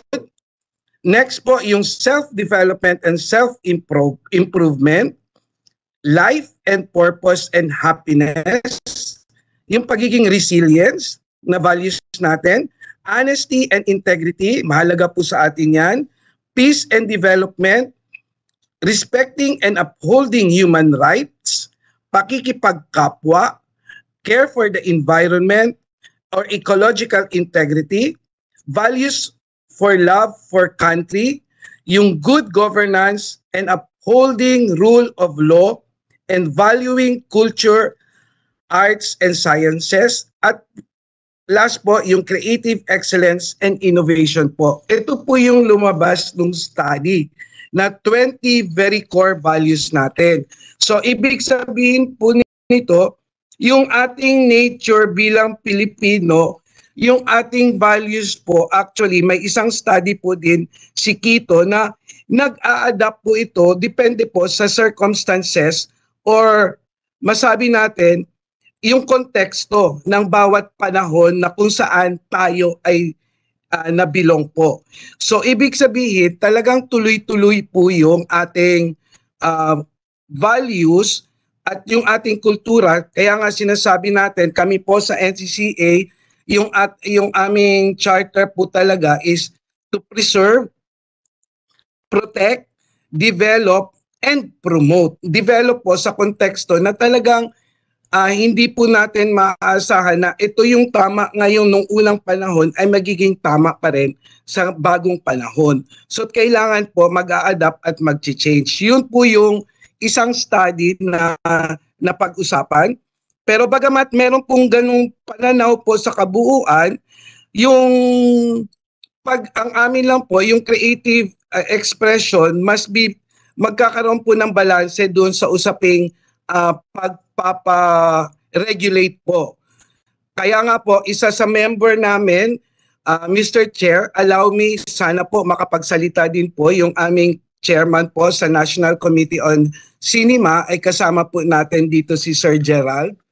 Baka po pwedeng sila po kasi yung sektor, pribadong sektor na kung saan nakasaad po sa NCCA na na structure, sila po yung ah, isa sa mga committee na binuo ng NCCA para pag-usapan at malagom po yung mga pangangailangan ng sektor.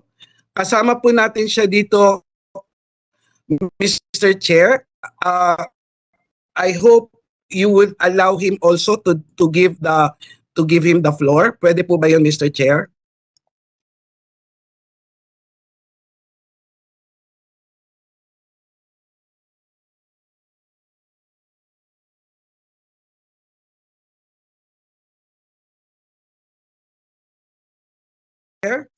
Mr. Chair, kasama ko po dito si si Sir Gerald, ang chairman po namin sa National Committee on Cinema. Baka pwede po siya makapagbigay ng mas detalyadong ah, usapin.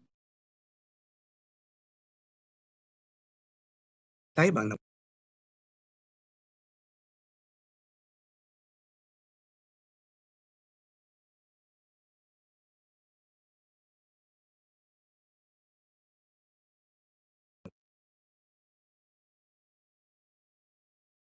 Nawala po yata.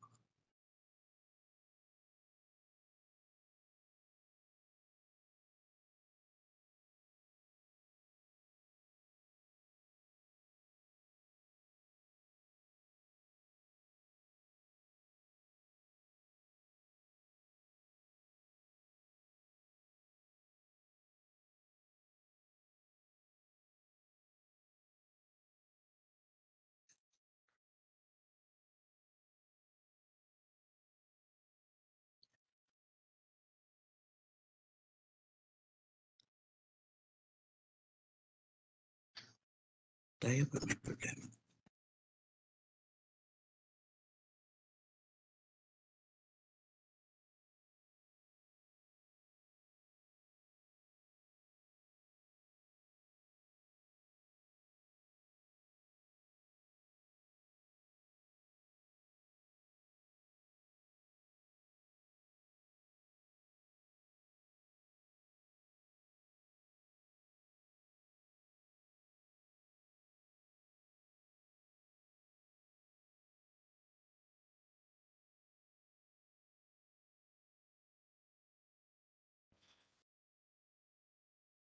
Hello, morning po.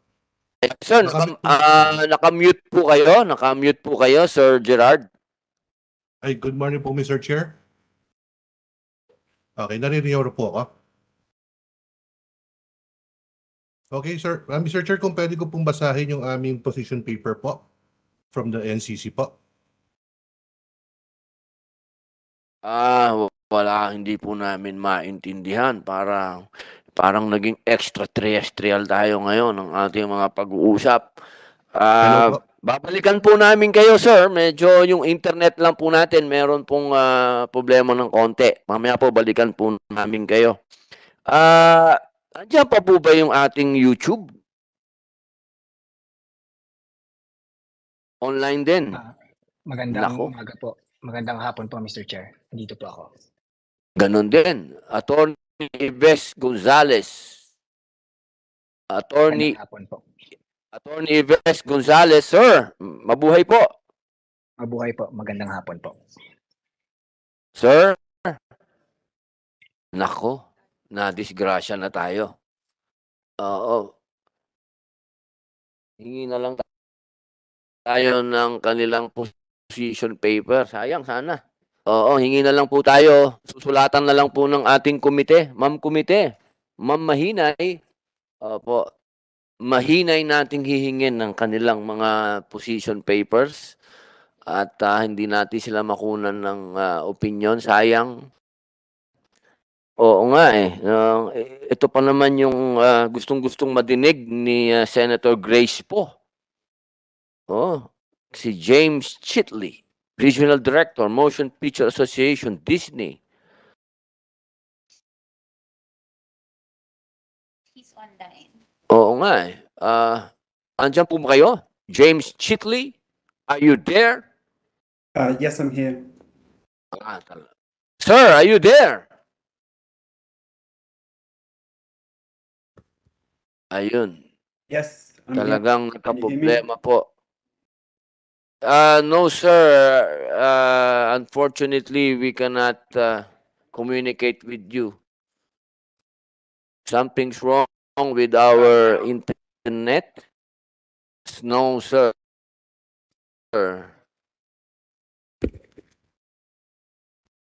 We can see you, sir. Sir James, we can see you, but we cannot hear you. Sir? Yes, can Sir you hear me now? James Chitley Yes. of Disney. Can Sir, you hear sir, we are in the process now of uh, giving extra powers to our MTRCB. Uh, giving extra power to uh, application board that uh, its mandate is to check movies and uh, television. And now we are hoping that the Congress will give them extra powers to check on the stream uh, streaming platforms. What do you think, sir? Are you amenable for this or not?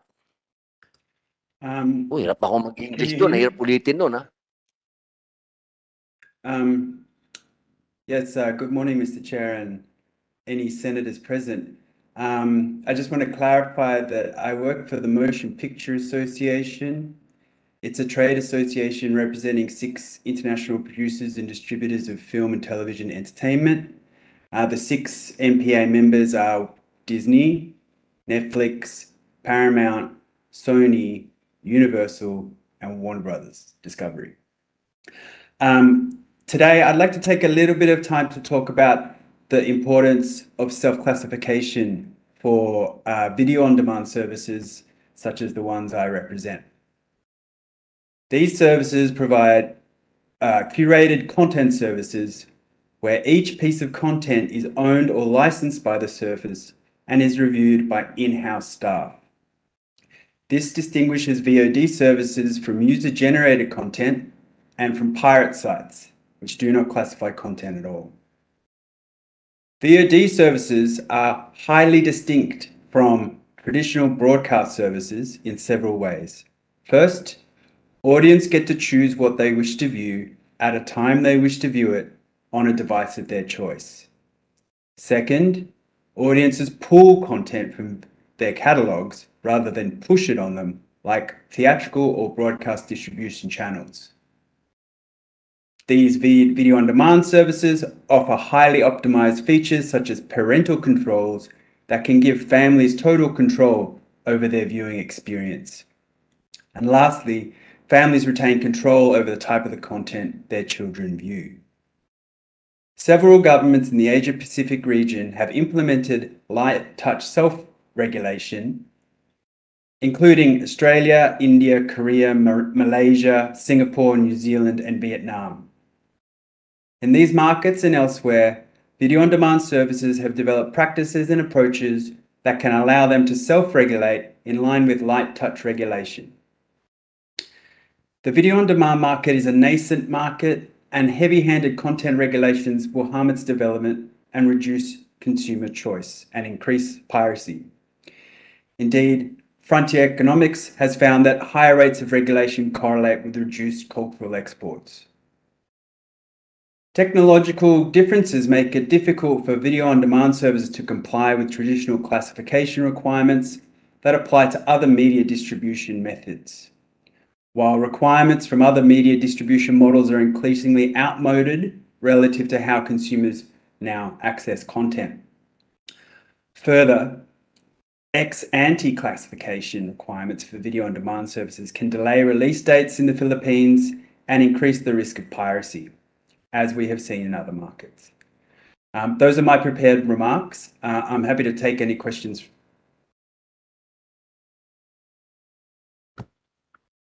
Thank you very much, Sir James Chitley. Well, I uh, I'm happy to hear that uh, in some countries they are the ones doing the uh, classification. Did I did I hear it right from India? Is that right? Yes, India has had a uh, self So, so code uh, operating now for two or three years, and it's operating very well. Um, one one piece Yeah. of evidence I've heard is that 95% of all consumer feedback um, goes to the services, the video on demand services, and they're dealt with at the service level.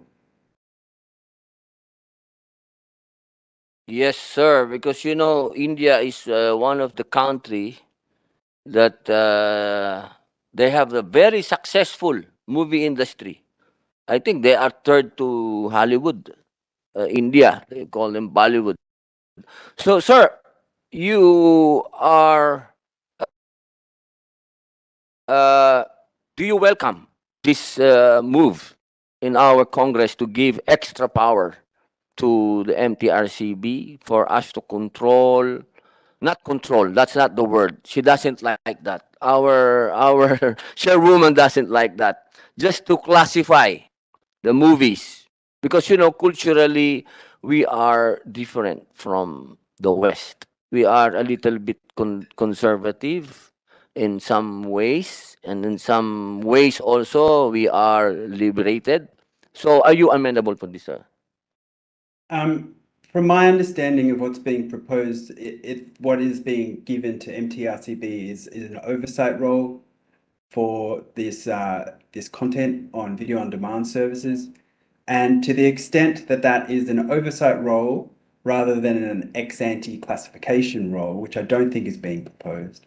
Um, yes, we would we would welcome that, and we we welcome that because it would give a, a- a modicum of clarity and and certainty to the legal status of this content in the Philippines. I'd like to stress that our members make available content on a global scale, and take into account regional and local differences as it relates to religion, uh, society, class, all sorts of these, all sorts of things, and and are very um, very cognizant of cultural differences. Um, so I would expect our members making their own decisions would cl- classify content in a manner that would be acceptable to MTRTB, and if there were any, um, you know, uh, any feedback given from the MTRTB, then that would be delivered to the service um, itself.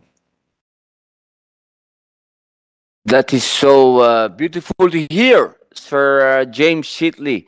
Uh, can I now hear the comment of our chairwoman? Ma'am, napakaganda na sinasabi nito. Na homework mo ba ito? Oh. Maraming salamat po, Mr. Chairman. Uh, thank you, MPA. And uh, I would like to reiterate that yes, MTRCB does welcome self-regulation, self-rating, self-classification, but it has to be the effective self-regulation.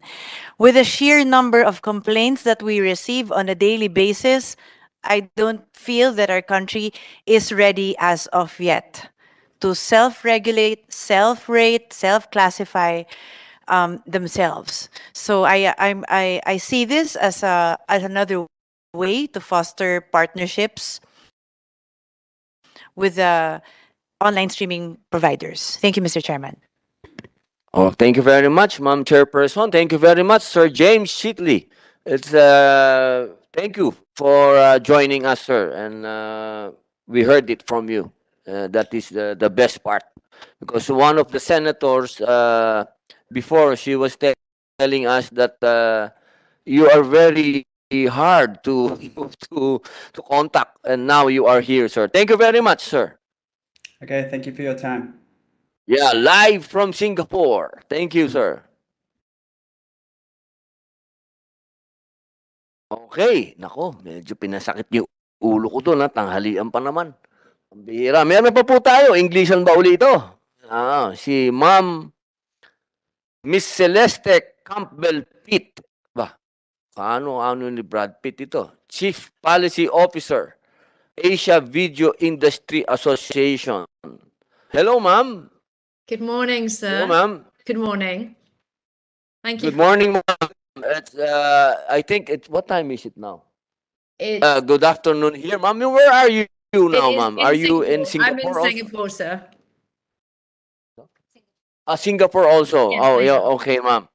Yes. Uh, we just uh, had a uh, beautiful talk with Sir James Chitley, and uh, he was supporting. He's supporting the MTRCB for uh, because I understood from uh, what he said that some other countries like India has their own classification and this is what we are asking from uh, uh, your part that maybe you could also give us this uh, uh, opportunity because ma'am you know the philippines is a very conservative country in many ways in some ways it is liberated but uh, when it comes to movies and uh, especially on uh, streaming we are so conservative, ma'am.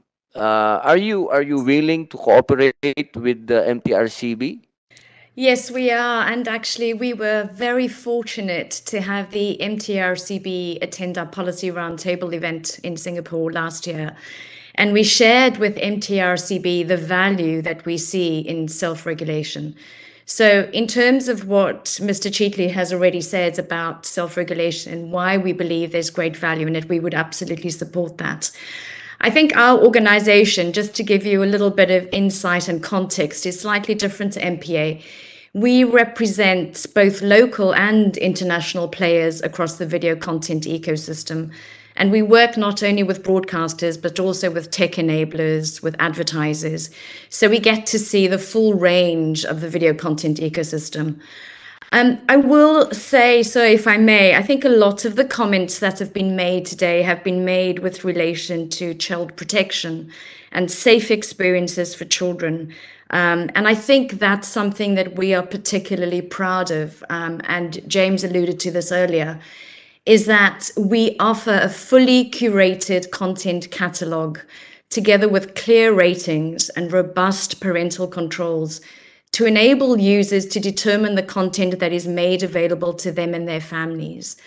And I think that's how we, um, as a curated content industry membership, differ from user generated um, platforms.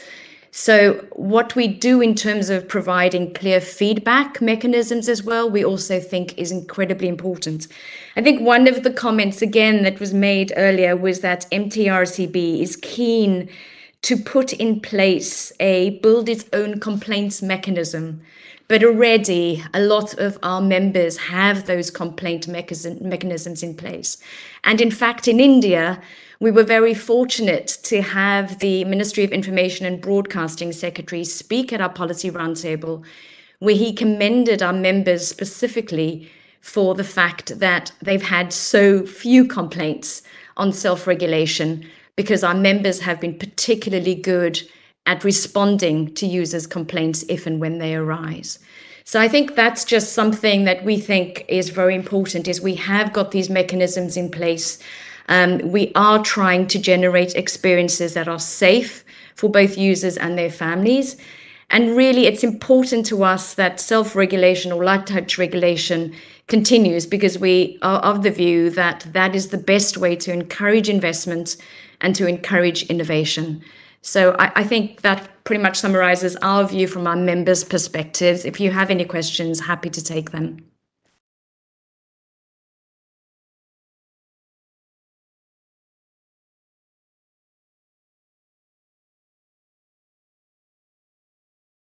Hello, ma'am. Yeah, ma'am Celeste. I'm sorry, uh, the internet, something's wrong with the internet, but I got almost all your message. Good. And I'm very happy to hear that you are very willing to cooperate with the MTRCV, ma'am, because uh, this is really very important to us. Uh, well, the whole world right now is uh, suffering from this uh, uh, fake news and uh, movies that are really, really not suitable for children. And uh, hearing this from you and uh, that you will cooperate and uh, you will help MTRCB, ma'am, we are very thankful. And uh, ma'am, I have one more question. This is a very light question. Are you related to Brad Pitt? Apparently, according to my Chinese name, I am, but not um, not as far as I know. Although I would be um, I'd be very uh, impressed if I was, and I will certainly let you know if I ever find that out, sir. Wow, that is really nice to hear. I just talked to a relative of the Brad Pitt. Thank you very much, ma'am. Uh, wish uh, I could see you personally, inshallah. Thank, you very much, ma'am. Thank you for the time, sir.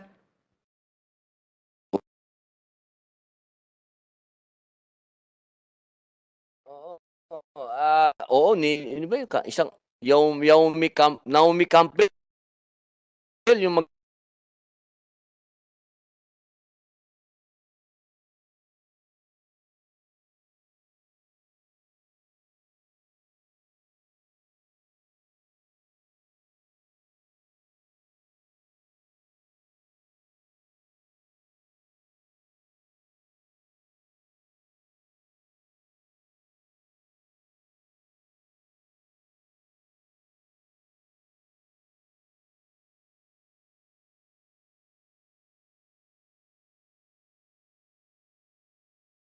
Ah, at ah, isang bagay 'yon na 'wag nating bibitawan. Kasi ito kaya tayo nandito.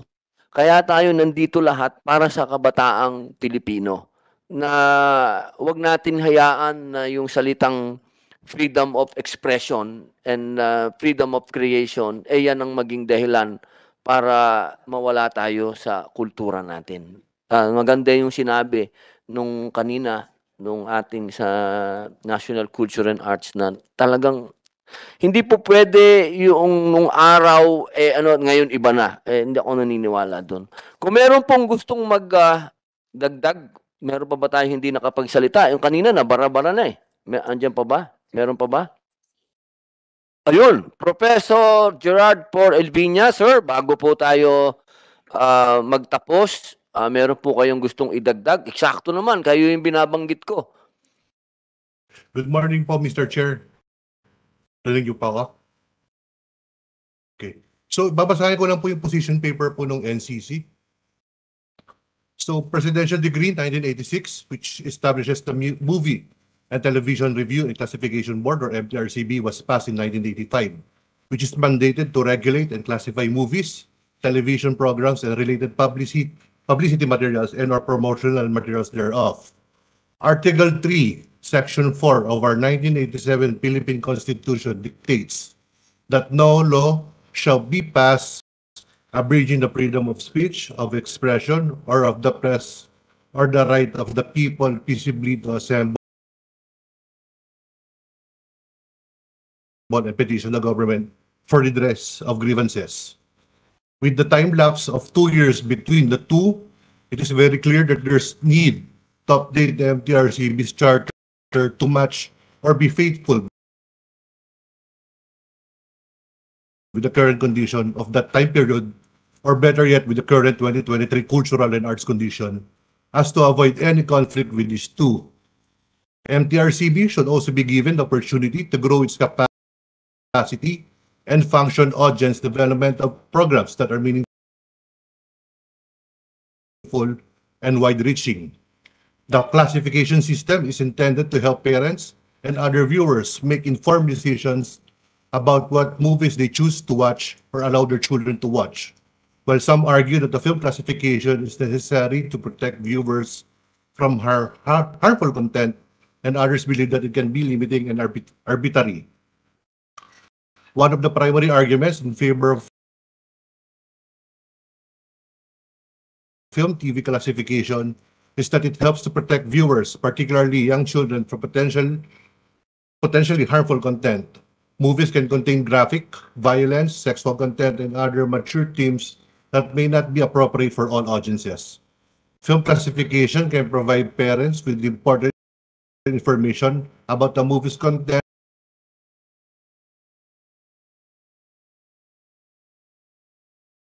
and help them make decisions about what is appropriate for their children to watch. Furthermore, some argue that TV, film and TV classification can, can be overly restricted and limit artistic ex- expression. Some filmmakers may feel pressured to water down their content to avoid a more restrictive rating, which can comprise the integrity of their, their work. In addition, certain groups may feel that their perspectives and experiences are not accurately represented in movies that are subject to restricted classification standards. Censorship, on the other hand, refers to the suppression or prohibition of any parts of the books, films, news, or ideas that are considered obscene, politically unacceptable, or a threat to national security. While some argue that censorship is necessary to protect society from harmful content, others believe that it infringes upon the fundamental rights to freedom of expression. There are several arguments in favor of censorship. One of the primary arguments is that it protects society from harmful content that can influence and corrupt people, particularly young children. For example, graphic, violence, pornography, and hate speech, hate speech can have negative effects on individuals in society as a whole. Censorship can help to prevent these harmful materials from being widely distributed and consumed. Another argument in favor of, of censorship, censorship is that it can protect national security. Governments often censor content that is deemed a threat to national security, such as classified information or propaganda from foreign countries. By limiting access to this content, censorship can help to prevent potential harm to a nation's citizens and interests. However, Despite these arguments, censorship is often criticized for infringing upon the fundamental right to freedom of expression. In democratic societies, individuals have the right to express their opinions and ideas. Even if they are unpopular or controversial, censorship can limit the freedom and prevent individuals from sharing their thoughts and beliefs. Furthermore, censorship can also be used as a tool for those in power to suppress dissent and maintain control. Governments may use censorship to prevent citizens from accessing information that could undermine their authority, such as news about political corruption or human rights abuses. This can lead to a lack of transparency and accountability and ultimately harm the democratic process. Even though freedom of expression is not absolute, we should ultimately find the balance between protecting individual rights and promoting the common good. In conclusion, while film TV classification can provide important information to viewers and help to protect them from harmful content, it is important to ensure that any classification system is transparent, consistent, and fair. Filmmakers should be able to express their ideas and perspectives without fear of censorship or arbitrary classification standards. Ultimately, film classification should strike a balance between protecting viewers and promoting artistic expression. Meanwhile, there are some arguments in favor of censorship, because ultimately possesses a threat to fundamental human rights and democratic values. While some forms of censorship may be necessary in certain circumstances, it is important to ensure that any limitations on, on free expression are proportionate, transparent, and subject to oversight to prevent abuse. Society must strike a balance between protecting individuals from harmful content and safeguarding the right to freedom of expression. We at the National Committee on Cinema, NCC, support the, the changes that needs to be done to align the two mandates to with the current cultural art landscape this 2023. We should focus on educating everyone on the difference of freedom of speech and censorship, and at the same time pass laws that would further promote, protect, uplift the cultural arts sector to be at par with international standards and practices. We pray that the Committee on Public Information and Mass Media would help the NCC in the following. First, education, upliftment and prof- professionalization of our cultural and arts sector workers. Second, copyright protection and reinforcement of our works. And lastly, educate the general public on making informed decisions or caveat emptor, the National Committee on Cinema, through the National Commission of Culture and the Arts. Thank you. Maraming salamat po, Professor Gerard Paul Elvinia. Salamat po ah, sa inyong ah, ano. Hingi din po kami ng position paper po ninyo, sir, kasi medyo malabo din po may mga yung first part po nyo medyo putol-putol. Dito lang po pa ending gumanda. Ah, kawawa naman po yung stenographer namin. Medyo nahirapan. Hingi po kami ng position paper po ninyo, sir. Yes, Mr. Chair. Take po. Salamat po, Professor. Ah, bilang panghuli, ito po yung kanina pa, ah, si Attorney Ives Gonzales. Opo, ay buti naman Tagalog ka na, boss. Oo, medyo sumakit na ulo ko doon kanina eh. Boss, ano po ba ang posisyon po ninyo? Kayo po ba ay ah, sumasang-ayon sa ating panukala na atin pong ah, bigyan ng ah, ah, mandato, ah, padagdagan ang ngipin ng MPRCB? Ah, makikipag-ugnayan po tayo sa MTRCB at sa Senado upang mapag-usapan po natin ang mga hinaing maibahagi din po namin kung ano po yung mga existing na mekanismo po upang mai-report ng MTRCB or ng kahit sino pong gustong mag-report ang mga content na lumalabag po sa batas ng Pilipinas o doon naman po sa ating pong tinatawag na community guidelines. So marami na pong existing at uh, naintindihan po natin ang concerns ng MTRCB ngunit uh, gusto rin po nating i-share yung mga existing po na mechanisms para po mapa, mapatanggal po yung mga content na may problema po. Apo, attorney, ah sangayon naman po kayo doon sa ang nabanggit nung ating mga foreigner kanina, napakaganda po nung kanilang mga sinabi, si James Chitley, tsaka po si Ma'am Celesta Naomi Campbell Brad Pitt na kanila po, sinabi nila kanina na sila ay ah, willing, willing po sila. Uh, actually very willing to cooperate with the MTRCB on protecting yung pong ah, una yung ah, kamusmusan ng ating mga kabataan at ah, nakakatuwa po ano na galing pa sa mga foreigner yung kanilang concern at handa po silang mag-adjust sa culture natin. Ano ano po ang palagay niyo po diyan, Sir Ives? Opo, ah, sa tingin ko po ay isa lang po yung ating layunin na talagang maprotektahan po, lalong-lalo na po ang kabataan. So ang Google at YouTube po talaga pong ah, napaka-importante po niyan. So kung ano po yung magagawa natin ah, upang makipagtulungan sa MP, MTRCB, ah, lalong-lalo na po upang gamitin yung mga existing po na reporting mechanisms para po matanggal yung mga content na hindi maganda para sa kabataan. Nako, maganda pong madinig yan, Sir Attorney. Ma'am, baka meron po kayong ah, gustong ah, ipa ano sa YouTube. Thank you. Thank you so much for uh, sa mga katagang sinabi sa atin ng ating kaibigan mula sa YouTube. Kami pa ay nagpapasalamat dahil kung makikita nyo lang po ang ang complaints na natatanggap ng MTRCB on a daily basis, bahang-baha na po kami ng complaints, lalo na po sa mga nilalaman ng YouTube. Kaya kinakailangan po namin ng proper coordination at siguro mas maganda kung makikipag-usap kami sa kanila at ah, magkaroon kami ng mechanism at ng agreement kung paano maiging masusolusyonan. Napakaganda po yung ating ah, si Attorney Ives Gonzales sa inyong pong sinasabi at magandang senyales po yan na handa po silang makipagdialogo sa inyo. Tama po ba, Sir Ives? Tama po. Po ng ah, representative ang YouTube. Pag nabalitaan po ito ni Senator Grace po, ay sigurado po mapapangiti na siya. Maraming salamat po. Mabuhay po, sir. Ngayon po, baka meron pong mga gustong magdagdag.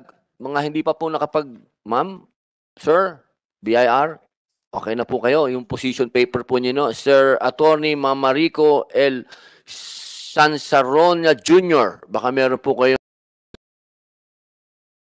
Sir, regarding the draft bill, sir, I noticed that uh, the indigenous people was uh, spelled out. So if I may suggest, sir, we could also spell out regarding the Muslims.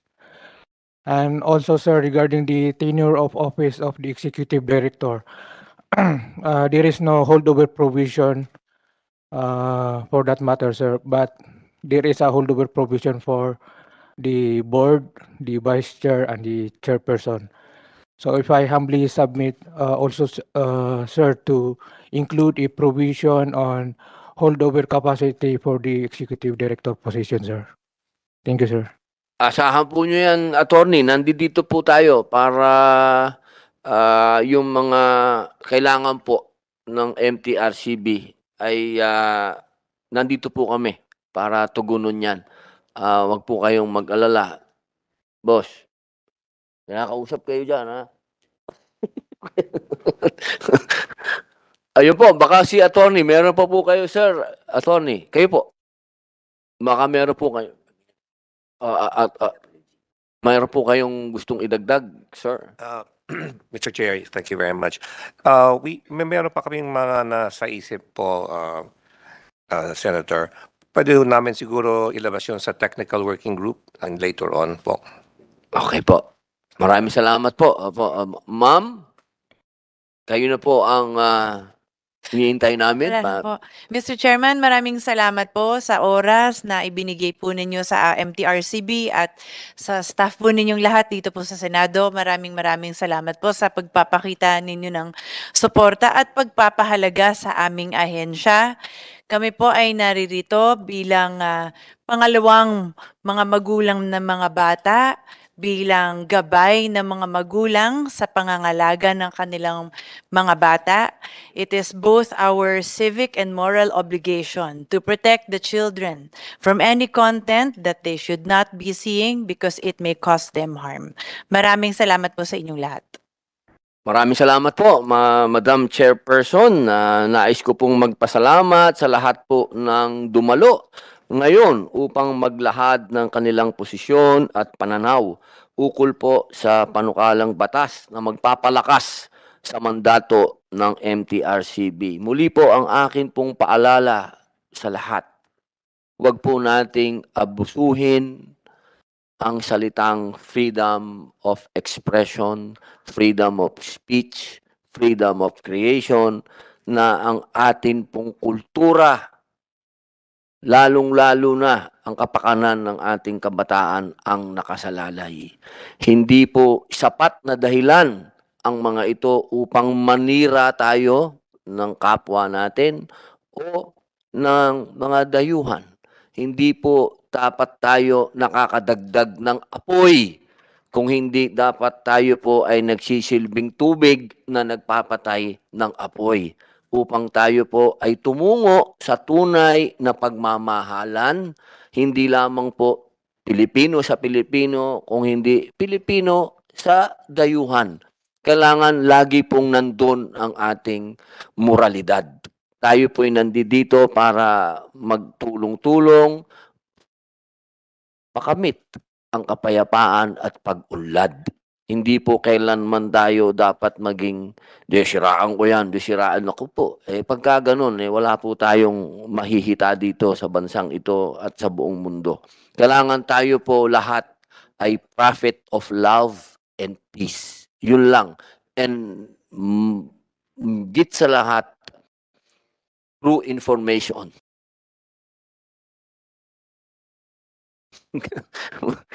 Magkasundo po tayo doon na tamang impormasyon. Sa puntang ito ay ah, akin pong sinasarado na itong pagdinig na to. Kumbaga sa Ingles, adjourn. Maraming salamat po. Mabuhay.